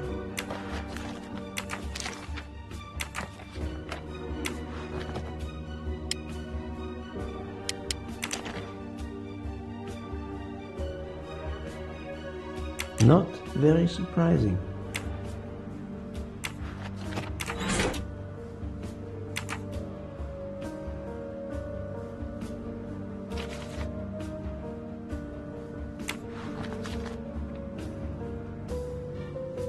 This door commute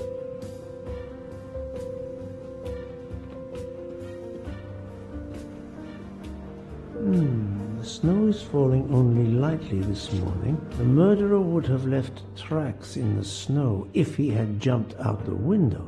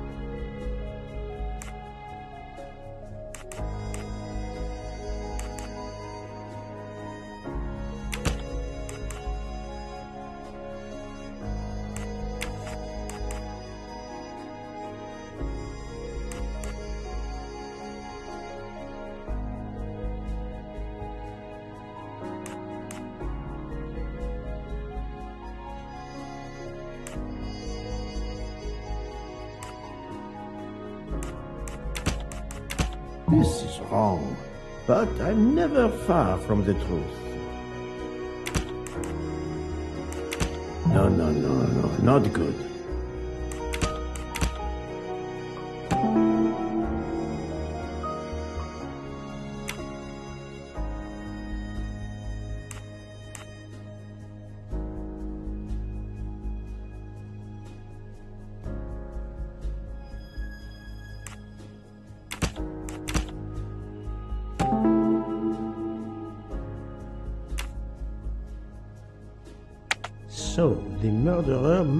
Exited through Madame Hubbard's room. I'm right again. That happens to me a lot.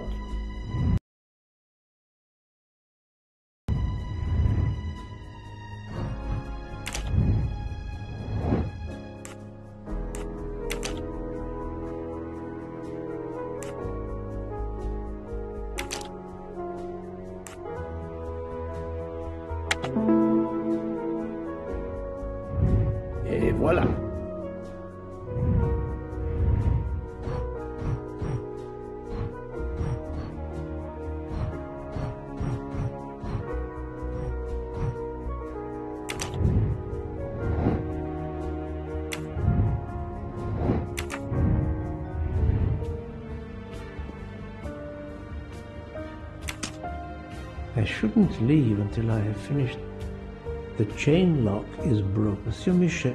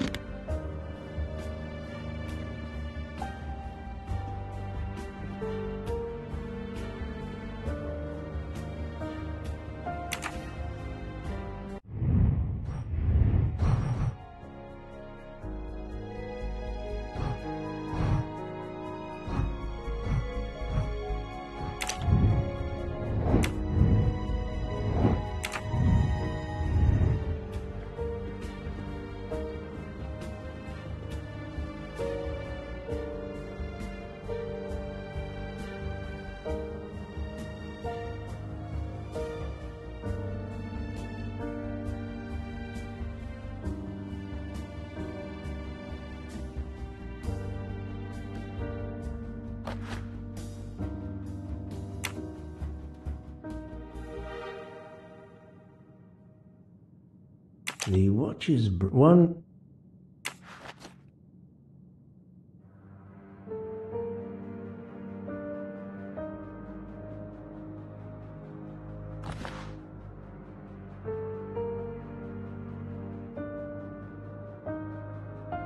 Last night, Monsieur, he knew he was in. I will leave it.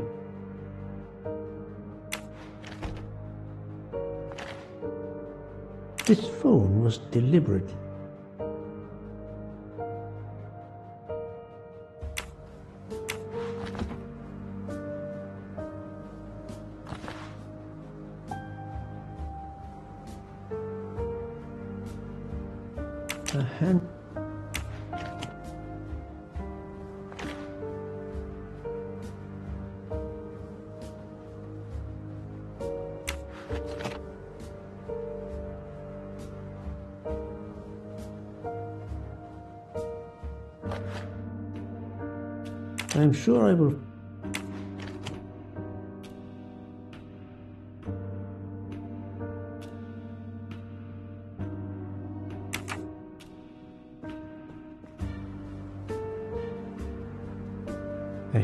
Leave until I have finished inspecting the crime scene.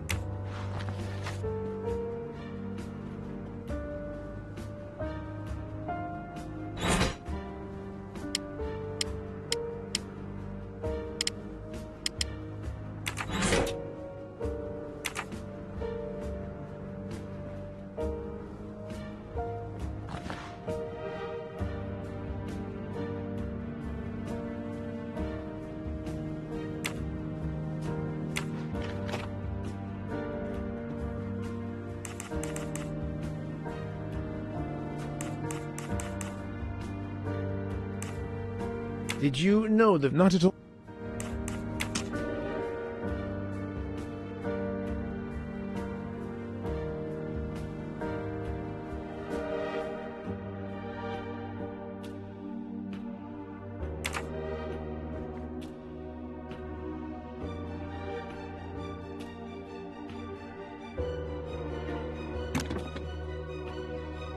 expensive clothing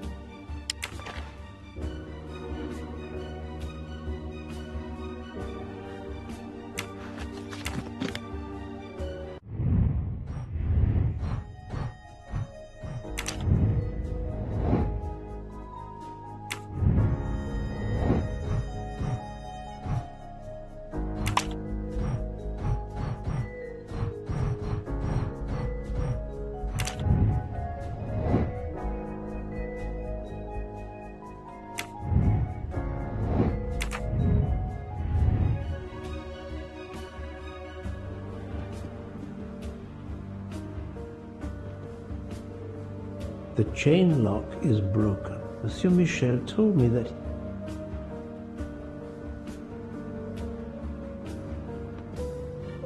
this door communicates.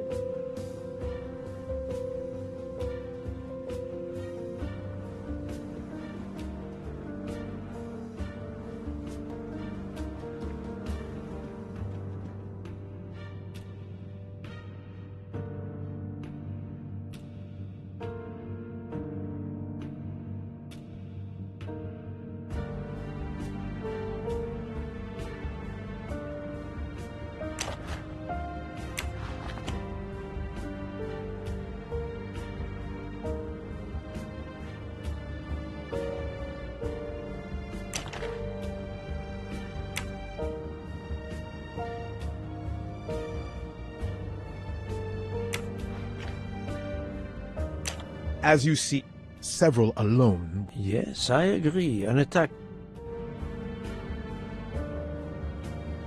I will, of course, prepare a complete report on my findings. Thank you.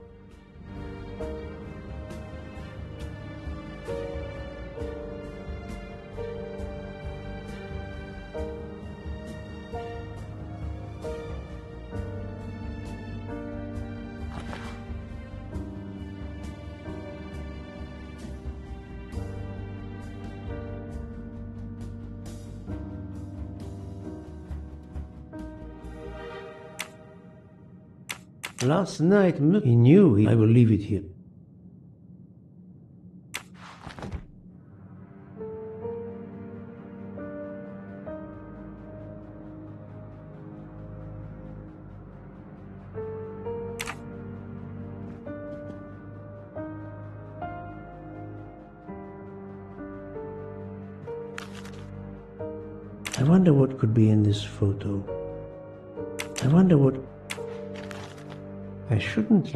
Until I have finished inspecting the crime scene.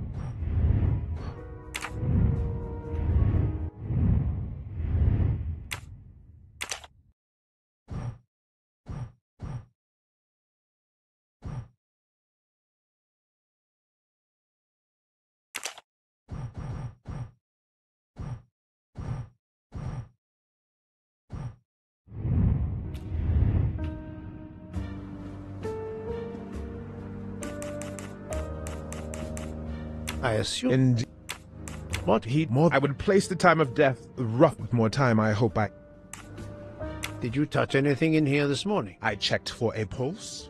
There was none. Rigor mortis had the body was cool to the touch. Did you... Not at all. I'm sorry, Doc. Of course. May I shall... He... I listen... My friend Bouc.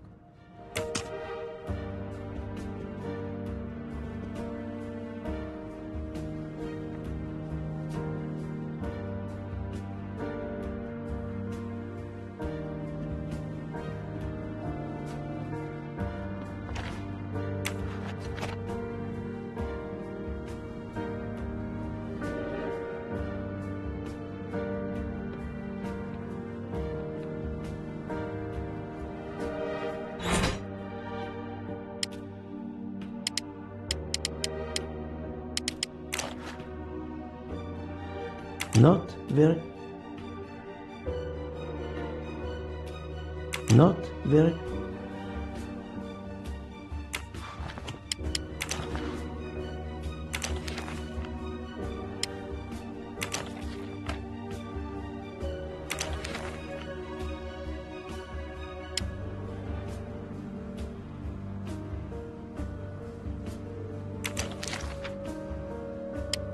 Ratchett had an appointment he will never keep.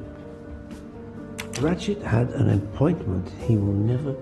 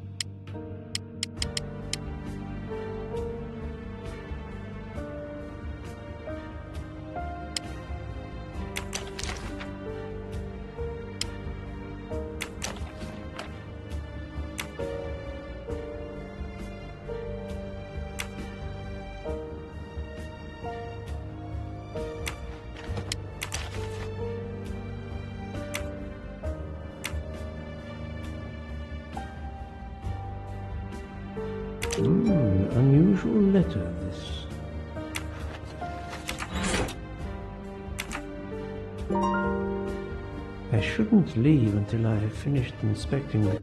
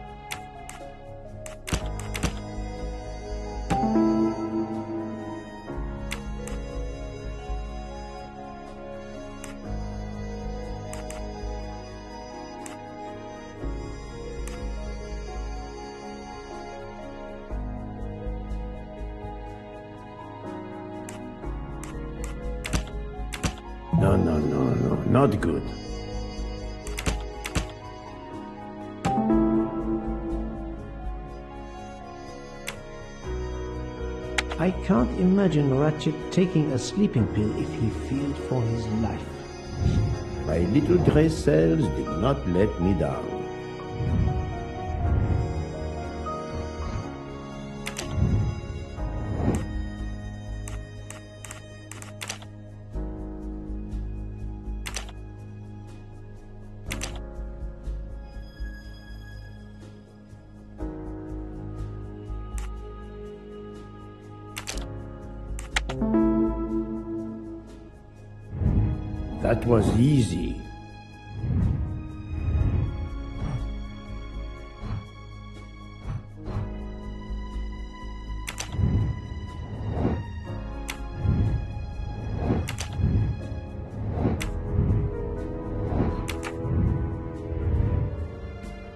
I think I've seen everything I need at the moment. I'm counting on you to finish your analysis. I'll have a more detailed report for you as soon as I can.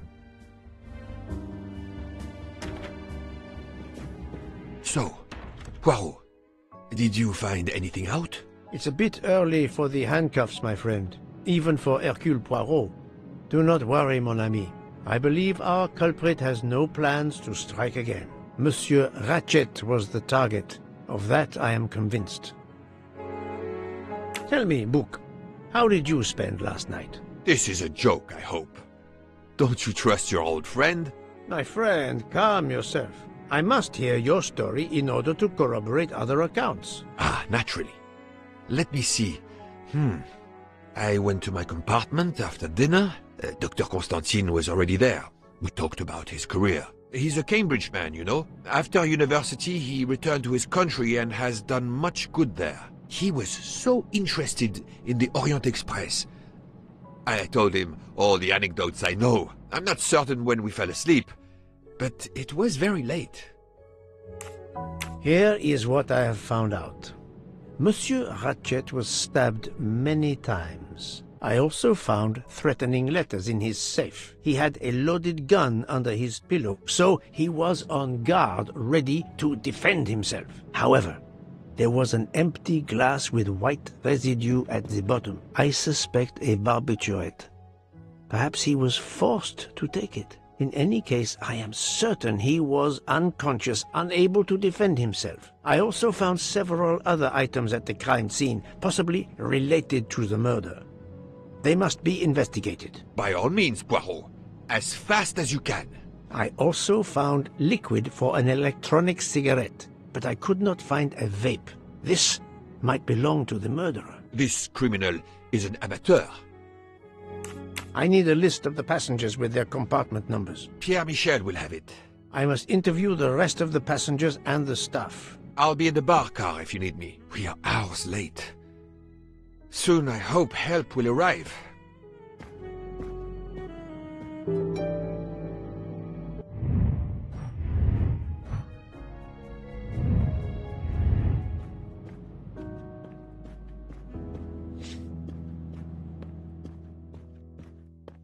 Monsieur Michel, I must ask you a few questions if you don't mind. I will do everything I can to help. First of all, tell me about yourself. Very well. My name, as you know, is Pierre Michel. I am from Calais. I've been with the company for over 15 years. Thank you.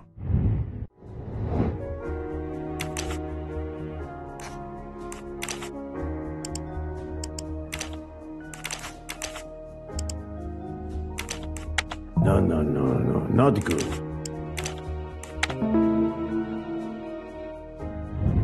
Et voilà.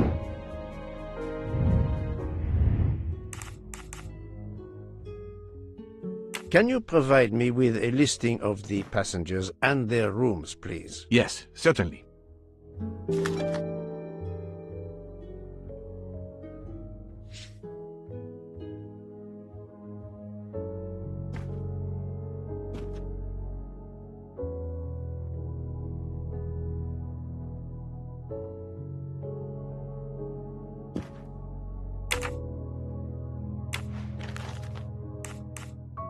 Are you a smoker? Indeed. Do you smoke e-cigarettes? No. Tobacco only. I would like to reconstruct with your help the events of last night. Monsieur Ratchett retired to bed. When? Almost immediately after dinner, sir. Actually, before we left Belgrade. Did anybody go into his compartment after that? His valet, monsieur. Monsieur Masterman. And then his secretary, the young American gentleman. Monsieur MacQueen. And that is the last time you saw or heard of him? No, monsieur. You forget that Monsieur Ratchett rang his bell around 12.40 a.m., soon after we had stopped. I knocked at the door, but he called out in French, Ce n'est rien, je me suis trompé. I then left to answer another bell that had just rung. Where were you at 1.15 a.m.? I was sitting on my little seat at the end of the car, facing up the corridor. Are you sure? I left a little after 1 a.m. to speak about the snow with my colleague Jean in the bar car. I came back later. There was a call. I remember speaking to you. Indeed, I remember. Carry on. It was the American lady, Madame Hubbard. She thought she saw a man in her compartment. Then around 1.50 a.m., I made the bed for Monsieur Ratchett's secretary, Monsieur MacQueen. He had spent the evening talking with the English Captain Arbuthnot. At 2 a.m., I returned to my place and stayed there until dawn. What is the last station where we stopped? Vinkovci. Could someone have come on board? Possibly. I was very busy. Owing to the weather, we were a few minutes late. We left at 12.10 a.m.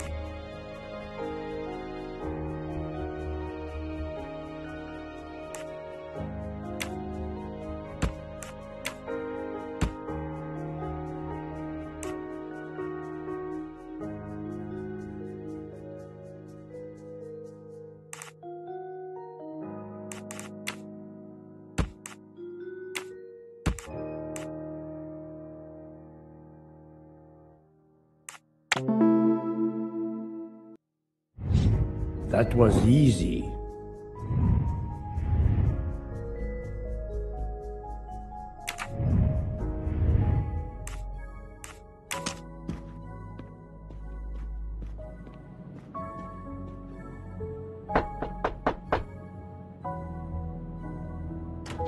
Good morning, madam. I am Hercule Poirot. Caroline Hubbard. What can I do for you, Mr. Poirot? I am the bearer of unfortunate news. It's obvious with all the commotion that something has happened. Madame Hubbard, I am afraid your neighbor, Monsieur Ratchett, was murdered last night. Oh my god! I knew it! I knew it! I would like to ask you some questions, but first, may I inspect your room? Of course, yes, you must.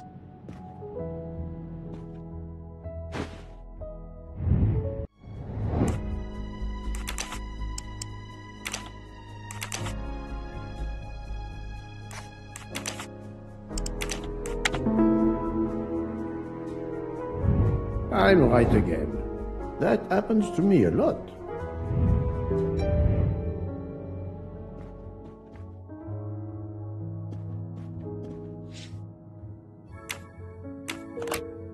This door connects to Monsieur Ratchett's compartment. It was latched on this side.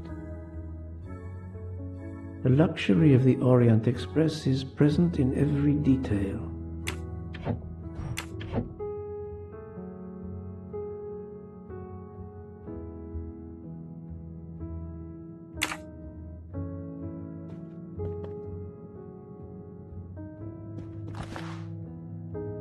Is a jacket button.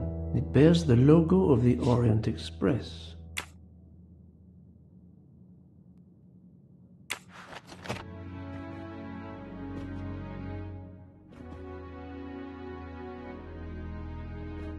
This door connects to Monsieur Ratchett's compartment. It was latched on this side. Come to Poirot, my exquisitely sculpted friend. Madame, please tell me about last night. The murderer was right here in my compartment. I woke up. All in the dark it was. I was just so scared I couldn't scream. I pressed the call button. I pressed and pressed. I heard footsteps running in the corridor, then a knock on my door. Come in, I screamed. And I switched on the lights at the same time. And would you believe it? There wasn't a soul there. You think he went back into the other compartment? How do I know where he went? I had my eyes shut tight. The conductor came in. I told the man what had happened, and he didn't seem to believe me. I asked him to search the room, but he found nothing. I told the conductor to look at the door between the compartments, and sure enough, it wasn't bolted. Well, I soon saw to that. I told him to bolt it, then and there. How is it you didn't bolt the door between the two compartments? But I had. Well, as a matter of fact, I asked that Swedish lady, um, Olsen, uh, Greta, if it was bolted, and she said it was. How was it you could not see for yourself? I was already in bed, and my toiletry bag was hanging on the hook of the door. I couldn't see the latch from where I was. What time was it when you asked her to do this for you? Oh, it must have been around 10.30 or 10.45 p.m. She'd come along to see if I had an aspirin. But instead of opening my door, she opened Mr. Ratchett's door by mistake. He said something quite rude, like, Not a chance, lady, you're too old. it shocked her. She came in. I told her where to find the aspirin, and she got it out of my toiletry bag. Poor girl, she didn't have a good night. The same could be said for Monsieur Ratchett. It appears Mademoiselle Olsen may be the last person to see Ratchett alive.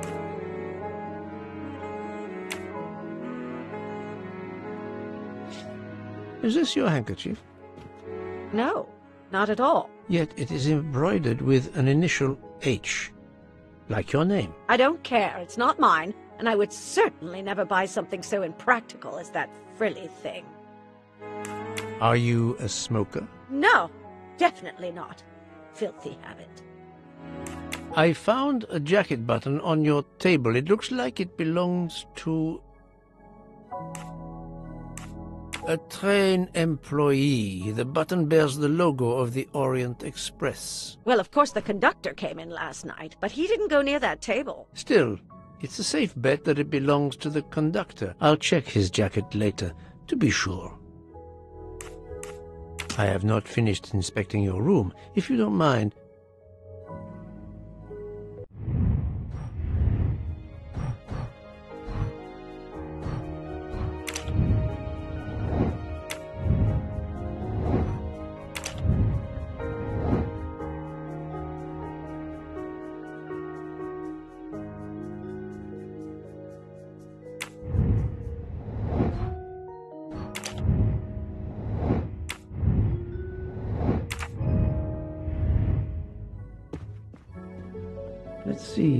Mrs. Hubbard was telling the truth about the latch of the connecting door.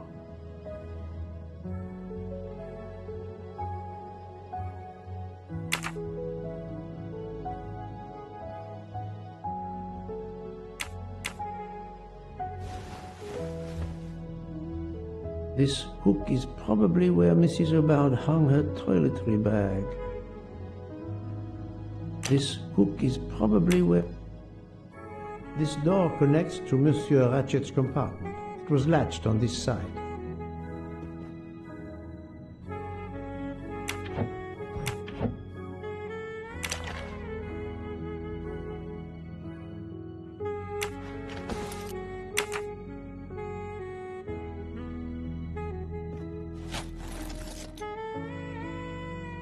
I can see the latch very well from here, even with the toiletry bag attached. I'll have to clear that up with Mrs. Hubbard.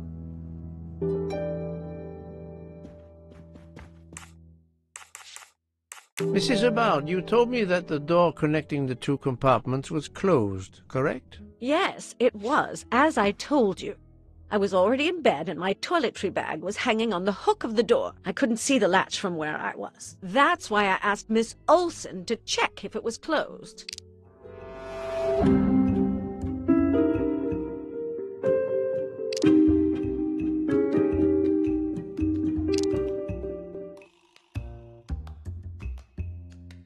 Are you sure everything you've told me is accurate, Madame Hubbard? Of course. I have an excellent memory. Mrs. Hubbard, I tested putting your toiletry bag on the door hook as you told me. From your bed, you can easily see the latch on the door. The toiletry bag does not hide the latch at all. Are you saying I'm lying? It may have been stuck somehow in a different position, or I may not have seen it in the darkness. Or I didn't think to look, you irritating man. Details matter, madame. A man has been most savagely murdered. You will excuse me if I attempt to separate the truth from the false. Forget my toiletry bag and focus on who entered my compartment. Probably after killing Mr. Ratchett. Madame Hubbard is a force to be reckoned with, but I suspect I'm not done with her. Thank you for your assistance, madame.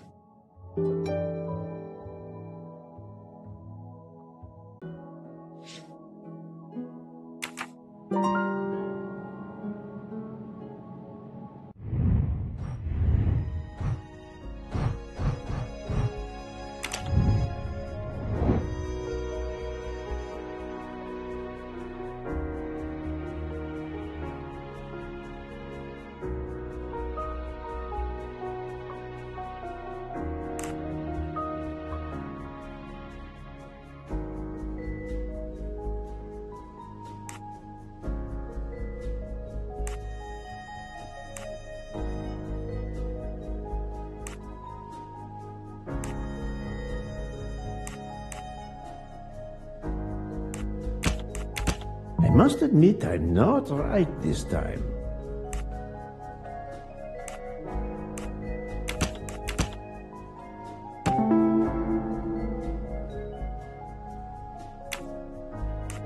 While Monsieur Michel was chatting with Monsieur Fauchet in the bar car between 1 a.m. and 2 a.m., the murderer could have escaped Ratchett's room without being seen. That was easy you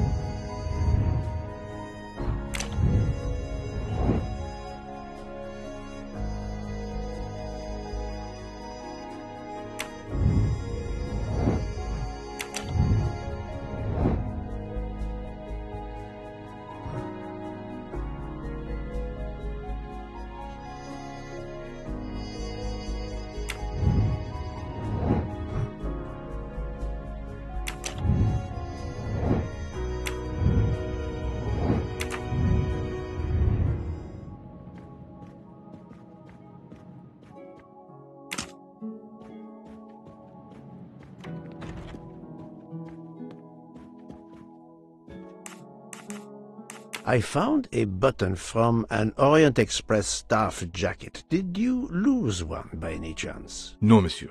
As you can see, I have all my buttons. It is not mine.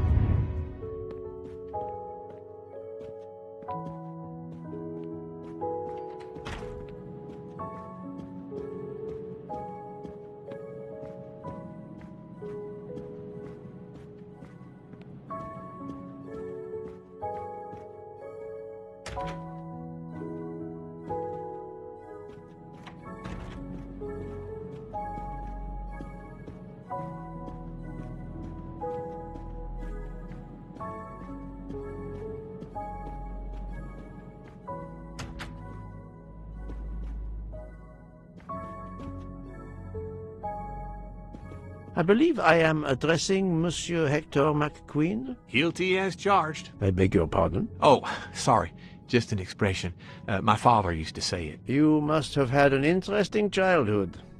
I am Hercule Poirot. No need to be modest. You're a detective. You are Monsieur Ratchett's secretary? I am Mr. Ratchett's secretary. Just over a year. I mainly take care of translating certain texts for him. Mr. Ratchett only speaks English. Prepare yourself for a shock. Your employer, Monsieur Ratchett, is dead. So they got him after all. What do you mean? You are assuming he was murdered? I know he had enemies. What can you tell me about Monsieur Ratchett? He was American. He was an antiques dealer. I don't know much more. Mr. Ratchett never saw his life. But I think, or someone. Yes? He started getting letters. Threat. Ratchett had asked for my help? Asked you? No, I didn't know. He knew he was in danger. When did you last see him? Last night around 10 o'clock, I should say. Did you like your employer, Monsieur MacQueen? No, I did not. He was, I'm sure, a, a cruel and dangerous man. Can you tell me your movements last night? I went back to my compartment. I read a little. In Belgrade, I went out onto the platform to smoke, but it was cold. I quickly went back in. I then went to Mr. Ratchett's compartment to take some dictation for him. I left around 10 o'clock. I saw Captain Arbuthnot. We ended up chatting in my compartment. Then we went out on the platform to quickly stretch our legs at Vinkovci. He left around 2 o'clock. Thank you. I will need to check Monsieur MacQueen's story with Captain Arbuthnot. I found a diary in Monsieur Ratchett's safe. Did you know about it? I kept a business appointment book, but I know he had a personal diary as well. That looks like it. Are you a smoker? Yes, I smoke cigarettes. I've tried to quit, but no luck. Can you give me this letter, please? Of course. Here it is.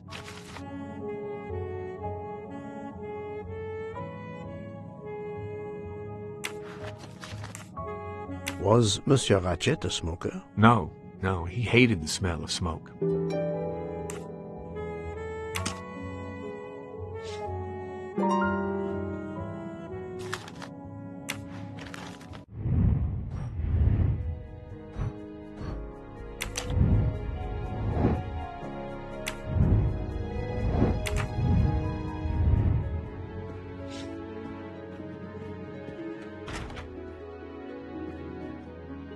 Monsieur Edward Masterman, I believe. May I ask you some questions? Mm, I can barely talk. I have a terrible toothache. We have a doctor on board the train. Perhaps... I do not need a doctor. I use essential oils. If you can find my flask of clove oil in my box, I would be grateful. Fine, if you insist. I will help you. Oh, this toothache is torture.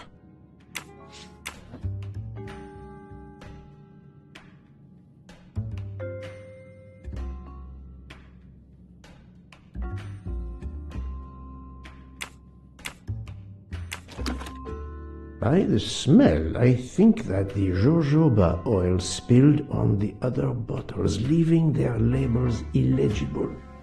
I must find another way to find which one is Masterman's toothache remedy.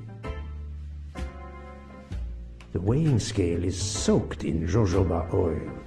It's unusable. Ah, this old scale will do the job.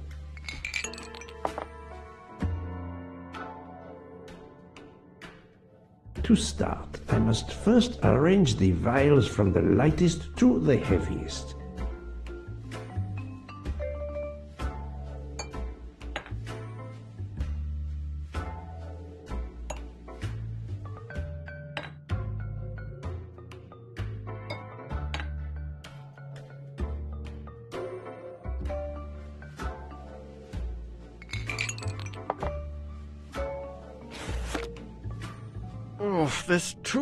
Is torture.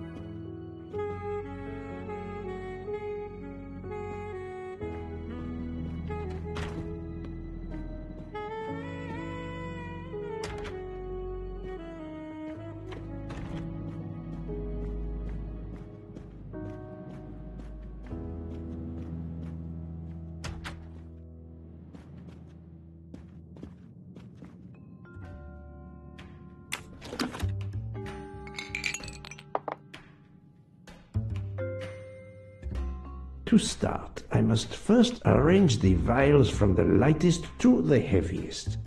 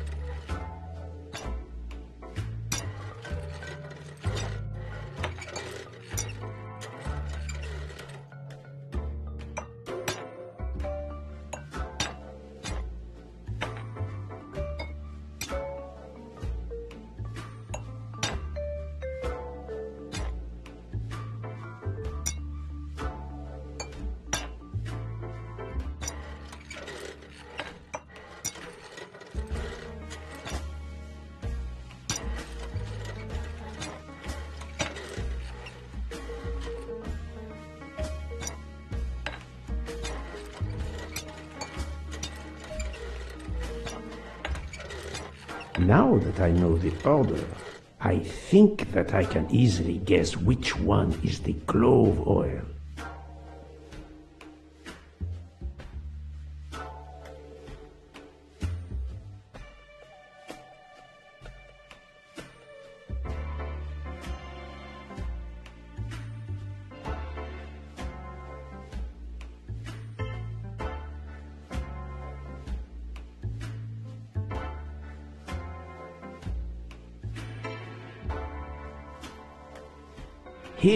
Monsieur Masterman's remedy.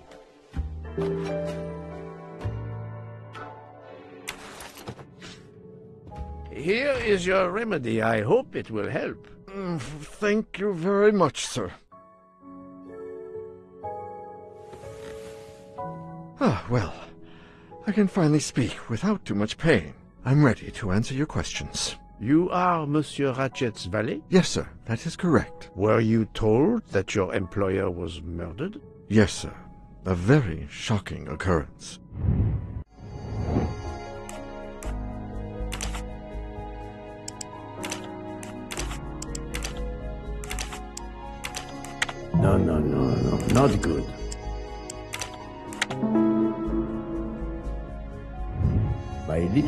Cells did not let me down. At what hour did you last see Monsieur Ratchett? It must have been around 9 p.m., sir. That or a little after. I went to bed around 10.30 p.m., same as the person who shares my room. Mr. Foscarelli. He almost immediately began snoring. What did you do then? I read, sir, and I spent a while soothing my toothache with clove oil and listening to the snoring. Did you hear anything during the night? Yes, my roommate's snoring. Are you a smoker? Yes, sir. I have a cigarette now and then to relax. Tell me about your employer, Monsieur Ratchett. I've been working for him for nine months. I should not wish to speak ill of the dead, but he was uh, not a gentleman, sir. Did you know that he had enemies? Yes, sir. I heard him discussing some threatening letters, sir, with Mr. MacQueen. Did he mention these letters to you? He had been reading a letter when I came in. He asked me if I was the one who put it in his compartment. I told him that I had done no such thing, and he should report it to the police at the next station. How did he respond? He laughed, sir. You're joking. I do not joke, sir. Forgive me, I can see you do not. Was he taking sleeping pills? Always when traveling by train, sir. He said he couldn't sleep otherwise. Last night he asked me to give him two. I did so, along with a glass of water. He dissolved them in the water. Did you see him drink the water? No, sir. I left right after I gave him the pills. Was Monsieur Ratchett a smoker? No. He finds smokers disgusting. Can you tell me again why you gave sleeping pills to Monsieur Ratchett? Yes, I gave him the pills because when he takes the train, he has trouble sleeping. The letter must have worried him. He specifically asked me to prepare the sleeping pills. I didn't see him drink the water with the pills in it.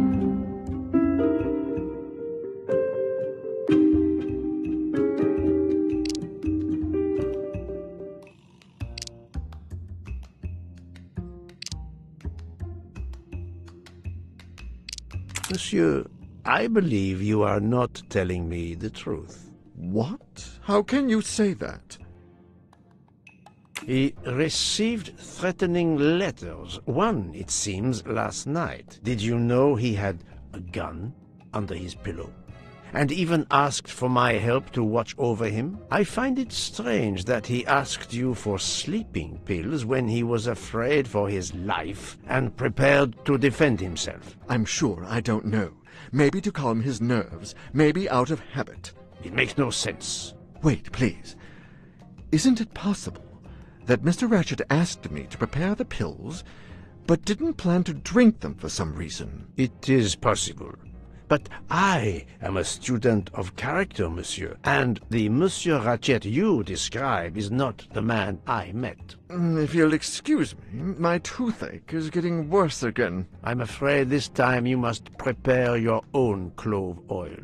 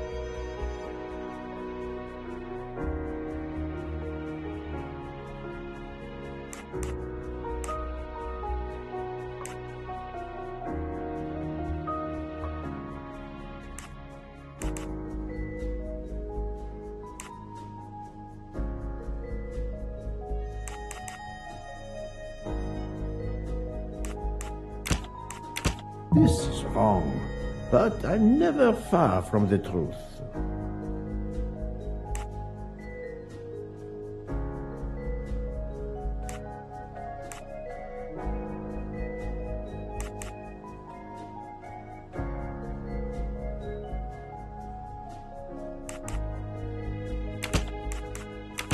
Think, Poirot. That is not a good answer.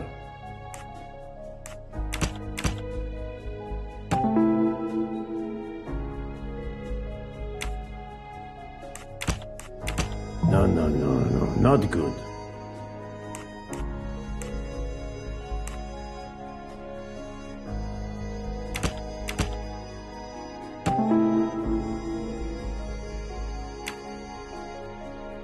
The murderer may have impersonated Ratchett by calling Monsieur Michel to make it seem that Ratchett was still alive at 12.37 a.m. I'm right again. That happens to me a lot.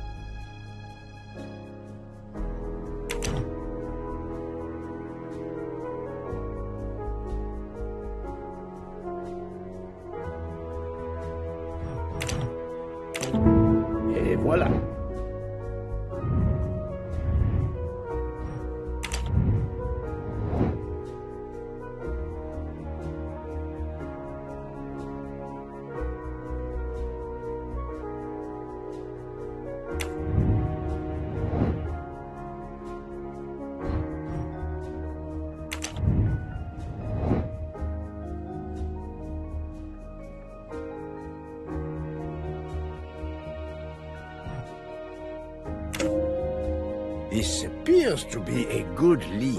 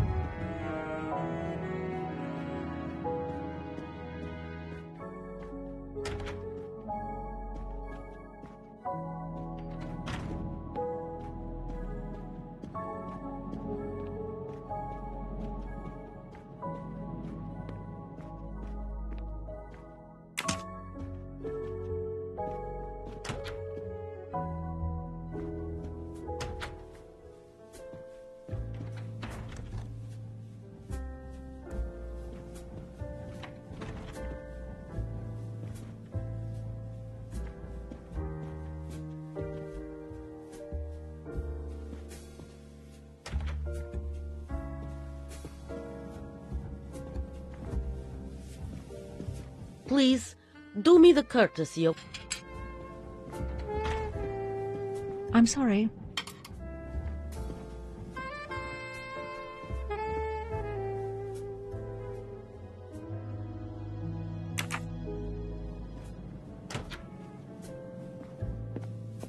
The Orient Express bar is certainly well stocked.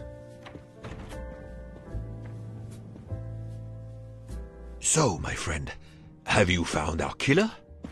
Not yet, but I will tell you what I have learned. Please. Our assassin could have gotten on the train at Vinkovci disguised as a conductor, entered Ratchett's room, and killed him. Then he walked out through Madame Hubbard's connecting door, where he lost a button from his jacket. He had to wait for Monsieur Michel to be absent. He waited too long.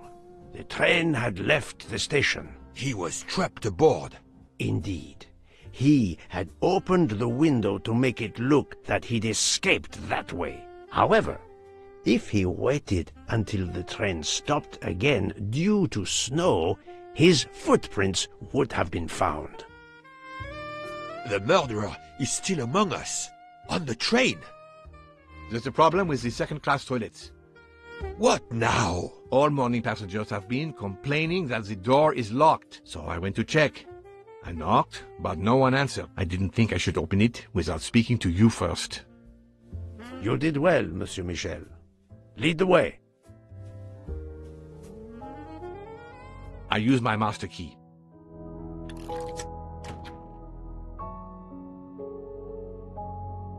But who is she? Is she alive? She is breathing. Then if she isn't dead, isn't she our murderer? That, my friend, is what we must find out.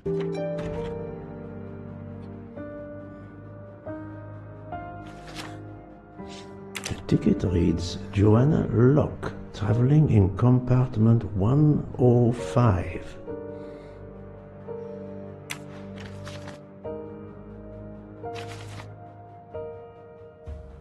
The ticket reads Joanna Locke. Miss, can you hear me? Hmm? Hmm. She's breathing. Her pulse is strong. There is no sign of physical violence. This woman is sleeping very soundly. This woman is sound asleep. Given her location, I would say she has been drugged and deposited here. Well, at least it's not another murder on my train. The train is, of course, full. Monsieur, the list I gave you indicates that Hildegard Schmidt shares her compartment. I will want to talk to her later.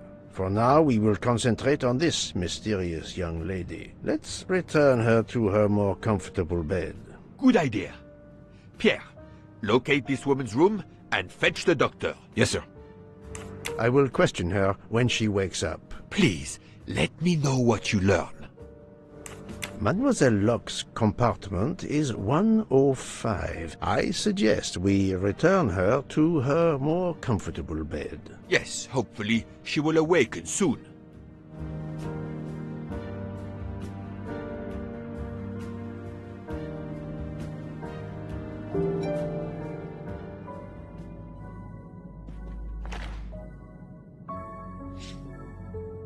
A cup of tea with white residue at the bottom.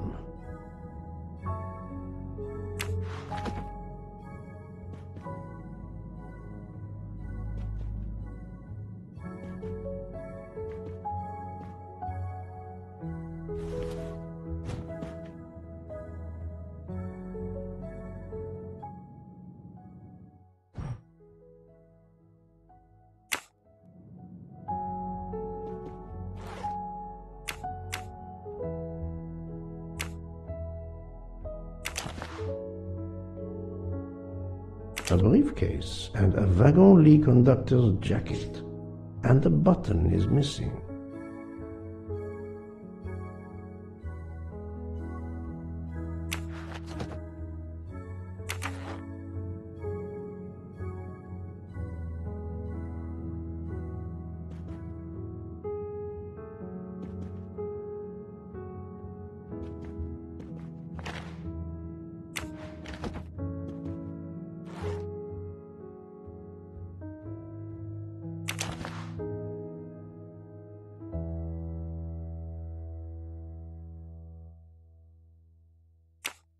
A briefcase, a briefcase, and a va-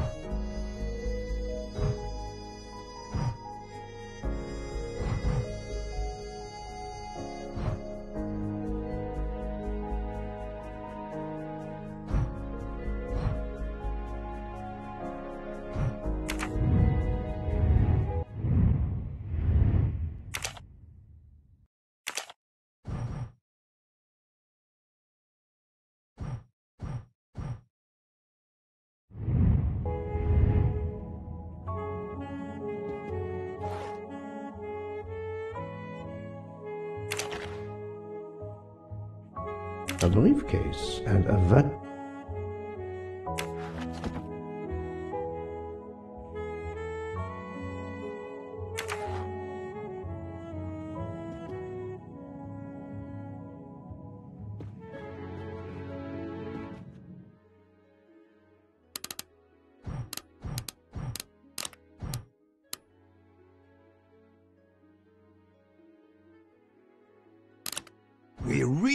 To find the combination.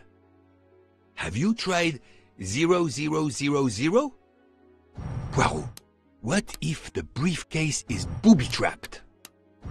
If you need a break, I can ask Jean to make you some coffee. Poirot, I'm disappointed in you. I was certain you would have it by now. Have you tried one, two, three, four? So, Poirot, any luck so far? No, that's mine. I never remember my passwords, so I make them easy ones. But of course you know what you're doing. It is booby-trapped, is it? If you need a break, I can ask Jean to make you some coffee. We really need to find the combination. Bouc, silent like a mouse, please. I'm sorry. You're right. I'll be quiet now. You need to concentrate. I will not utter another word. Not one. Bouc, there will be another murder on the Orient Express in a moment.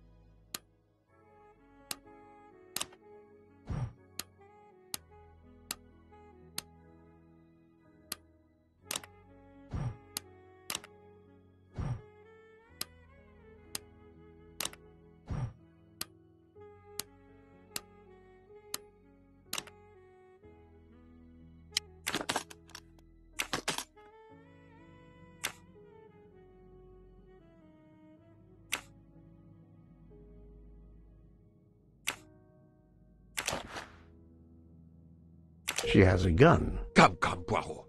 Criminals are often known to carry one. Ratchett was stabbed, not shot. But then why take it on the train? This badge says that Joanna Locke is an American detective with the Berkshire Police Department in Massachusetts. An American police officer? Oh.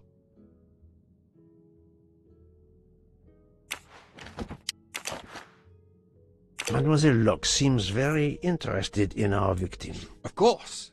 She has studied her target. Possibly.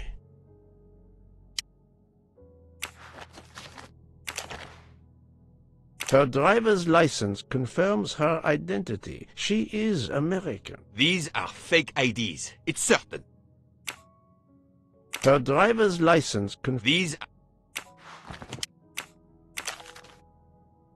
The stuffed animal is the same as in the photo found at the crime scene. What a coincidence. Mademoiselle Locke appears to have been investigating Monsieur Ratchett. Look, she's waking up. Thanks to you, I would not be surprised if our murder victim were also waking up. I... What?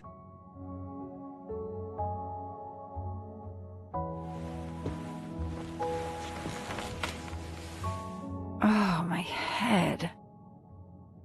What's all the yelling about? Who are you?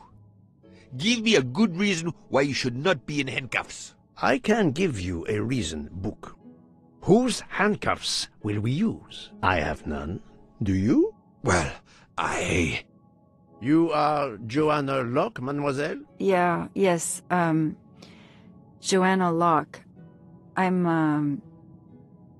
I'm a detective. Berkshire, Massachusetts Police. I have found your credentials, mademoiselle. And I know who you are, Mr. Poirot. Then, if the introductions are complete, perhaps the explanations may begin. I. I I'll try. It's simple, really. I. I'm on the trail of a murderer.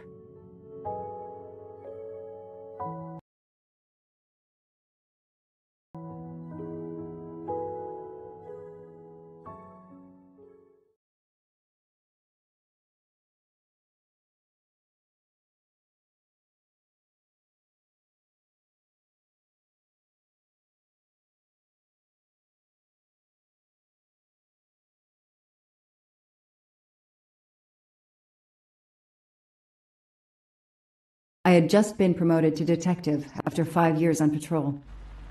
It was my first time on a major case. It had been a month since Daisy Armstrong was kidnapped. The Armstrongs were desperate for some sign of hope. I was there only for paperwork, to fill in some blanks.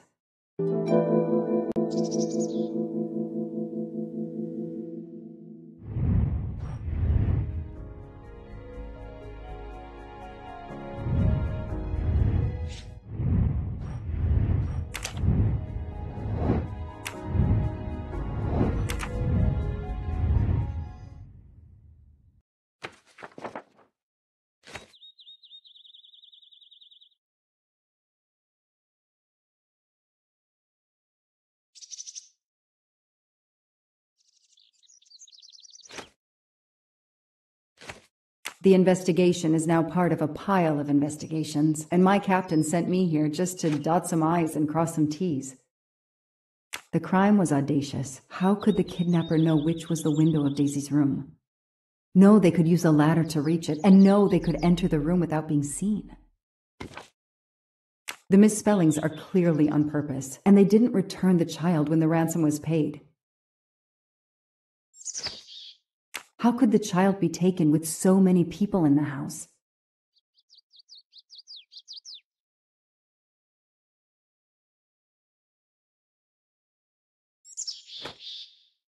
I can't imagine the pain her parents felt when they realized Daisy was gone. How are they going to feel when they realize I have no answers for them? Only more questions.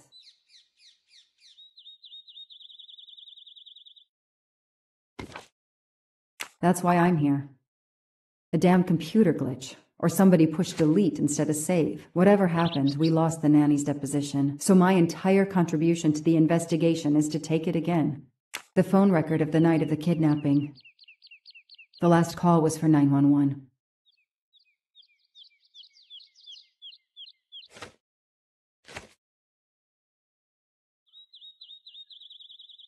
I can't imagine the pain her parents felt when they realized Daisy was gone. How are they going to feel when they realize I have no answers for them? Only more questions. A topographical map. Often more important than a road map in these mountains.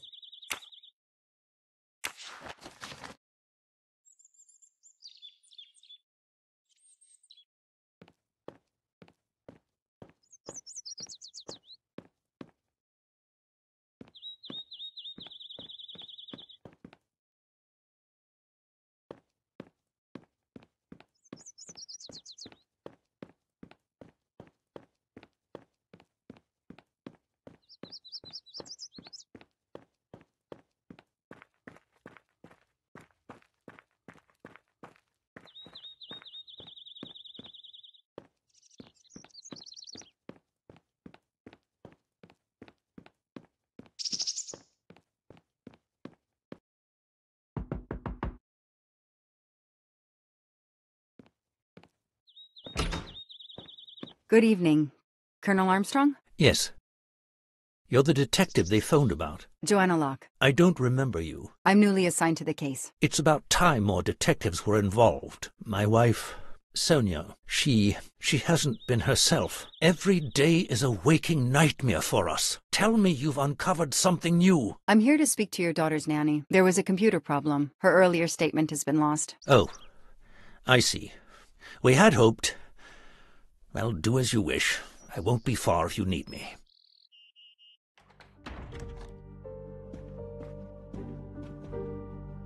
Their fairy tale became a nightmare.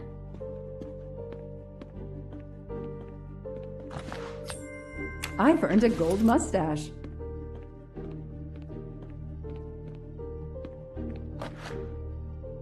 What a dear child.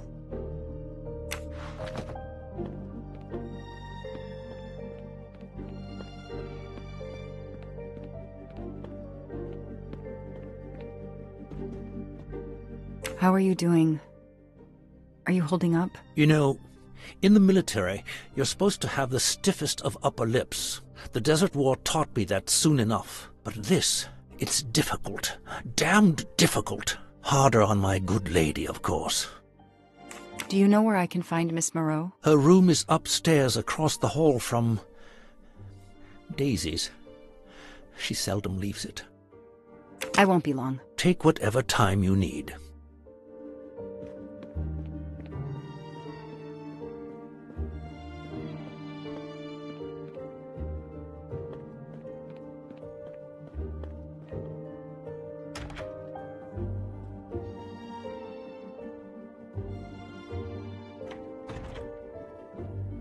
Hello, are you Suzanne Moreau, Daisy's nanny? Yes?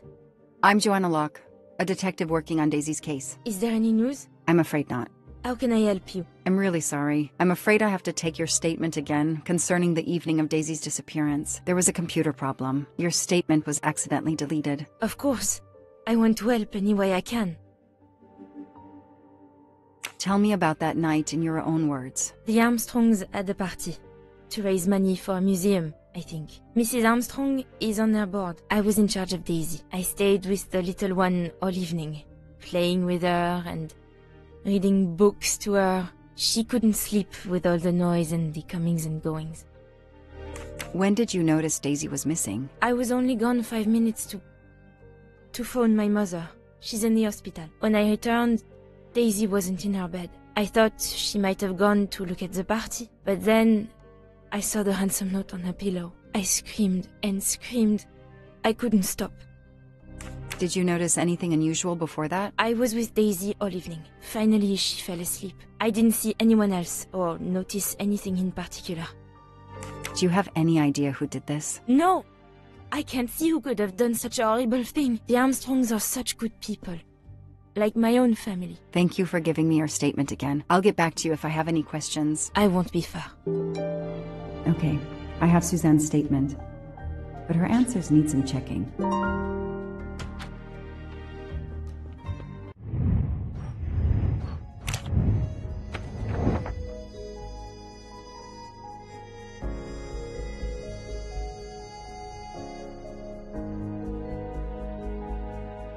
Nothing shocks me here.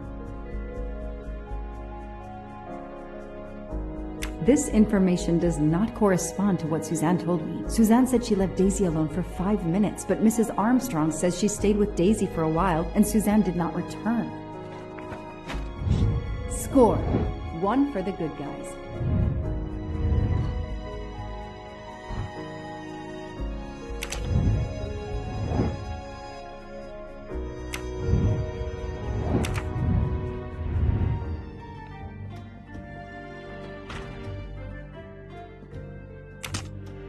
Lyon, in France. A toy train. Now here I am on a real one.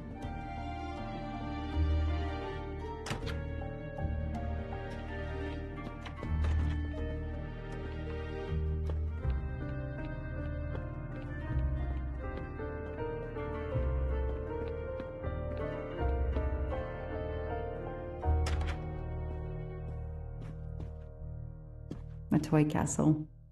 When I was a kid, I had a police station and a tiny squad car with a siren that really worked. The world through the eyes of a child seems so sweet. Mrs. Armstrong, my name is Joanna Locke. I'm a detective investigating the kidnapping of your daughter. May I talk to you? When is your baby due? Mrs. Armstrong? Sonia? I don't want to talk. I just want to see my daughter again. That's all that matters. The poor woman.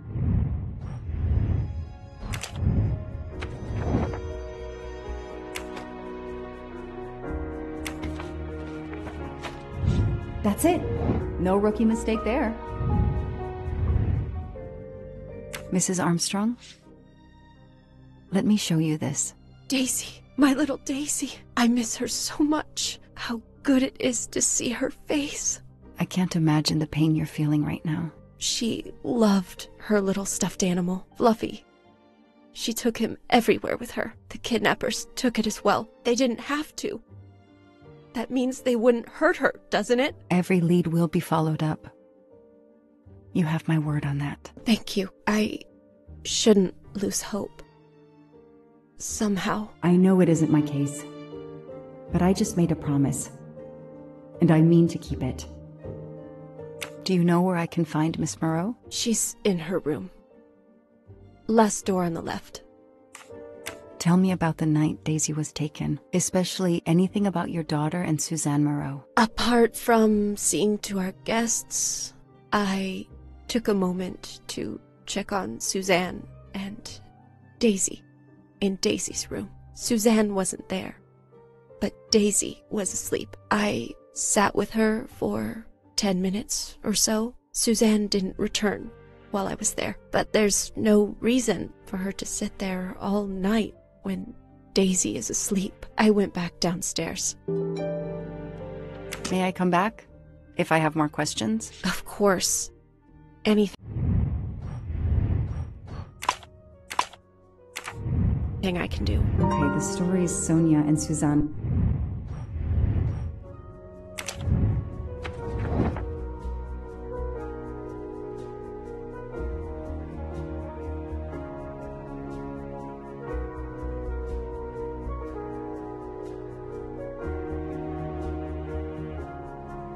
Nothing shocks me here. That is not exactly what Suzanne told me earlier. Suzanne was on the phone more than five minutes. That's it. No rookie mistake there.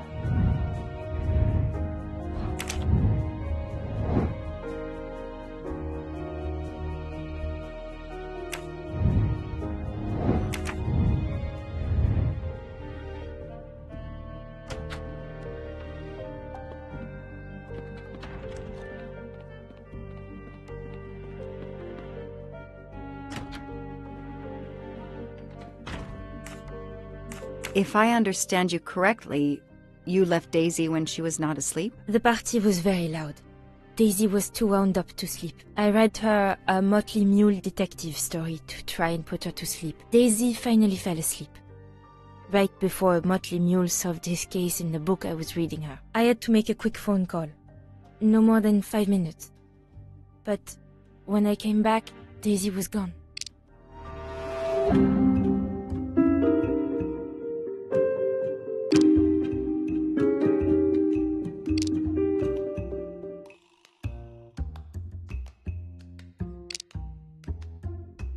Are you sure you were only gone for five minutes? Five, six, what does it matter? It was very quick. What you're telling me doesn't really agree with what Mrs. Armstrong says. Mrs. Armstrong must have looked in right after I'd left. That's how it could have happened. But the timing of the kidnapping had to be so precise. How could it be? I need to find something more concrete. You say you were only away five or six minutes, but Mrs. Armstrong says she was alone there more like 10 minutes. And the phone record shows that you stayed on the call for more than 30 minutes, way longer than you said. My mother is extremely ill. It's difficult for me. I may have lost track of time. When I came back, Daisy had disappeared. It must have been a coincidence. You have to be precise, Suzanne. A little girl's life is at stake. Why are you doing this? I didn't do anything wrong. I would never hurt Daisy. I need to check Suzanne's story. She's panicking. Why now? What is she afraid of? I should see if the Armstrongs can confirm what Suzanne told me.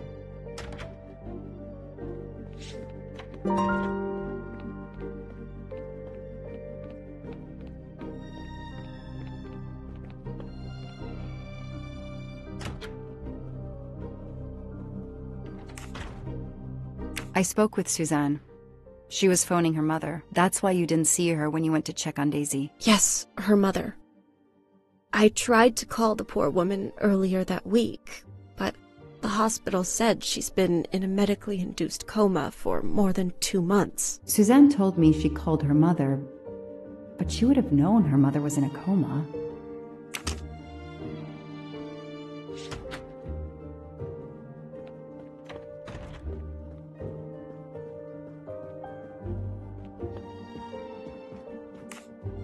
Did you see Miss Moreau during the party? I remember seeing her at some point, but otherwise no.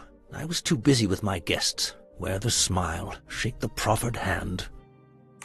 Ms. Moreau told me she called her mother. Well, why not? I believe they are very close, and the poor woman is not well. She needs some experimental treatment that isn't available yet in France. I won't be long. Take whatever time you need.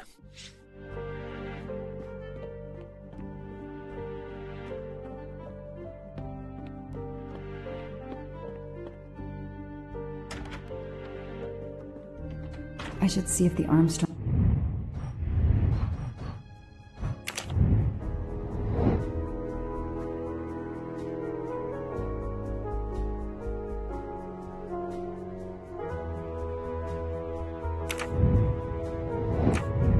can confirm what Suzanne told.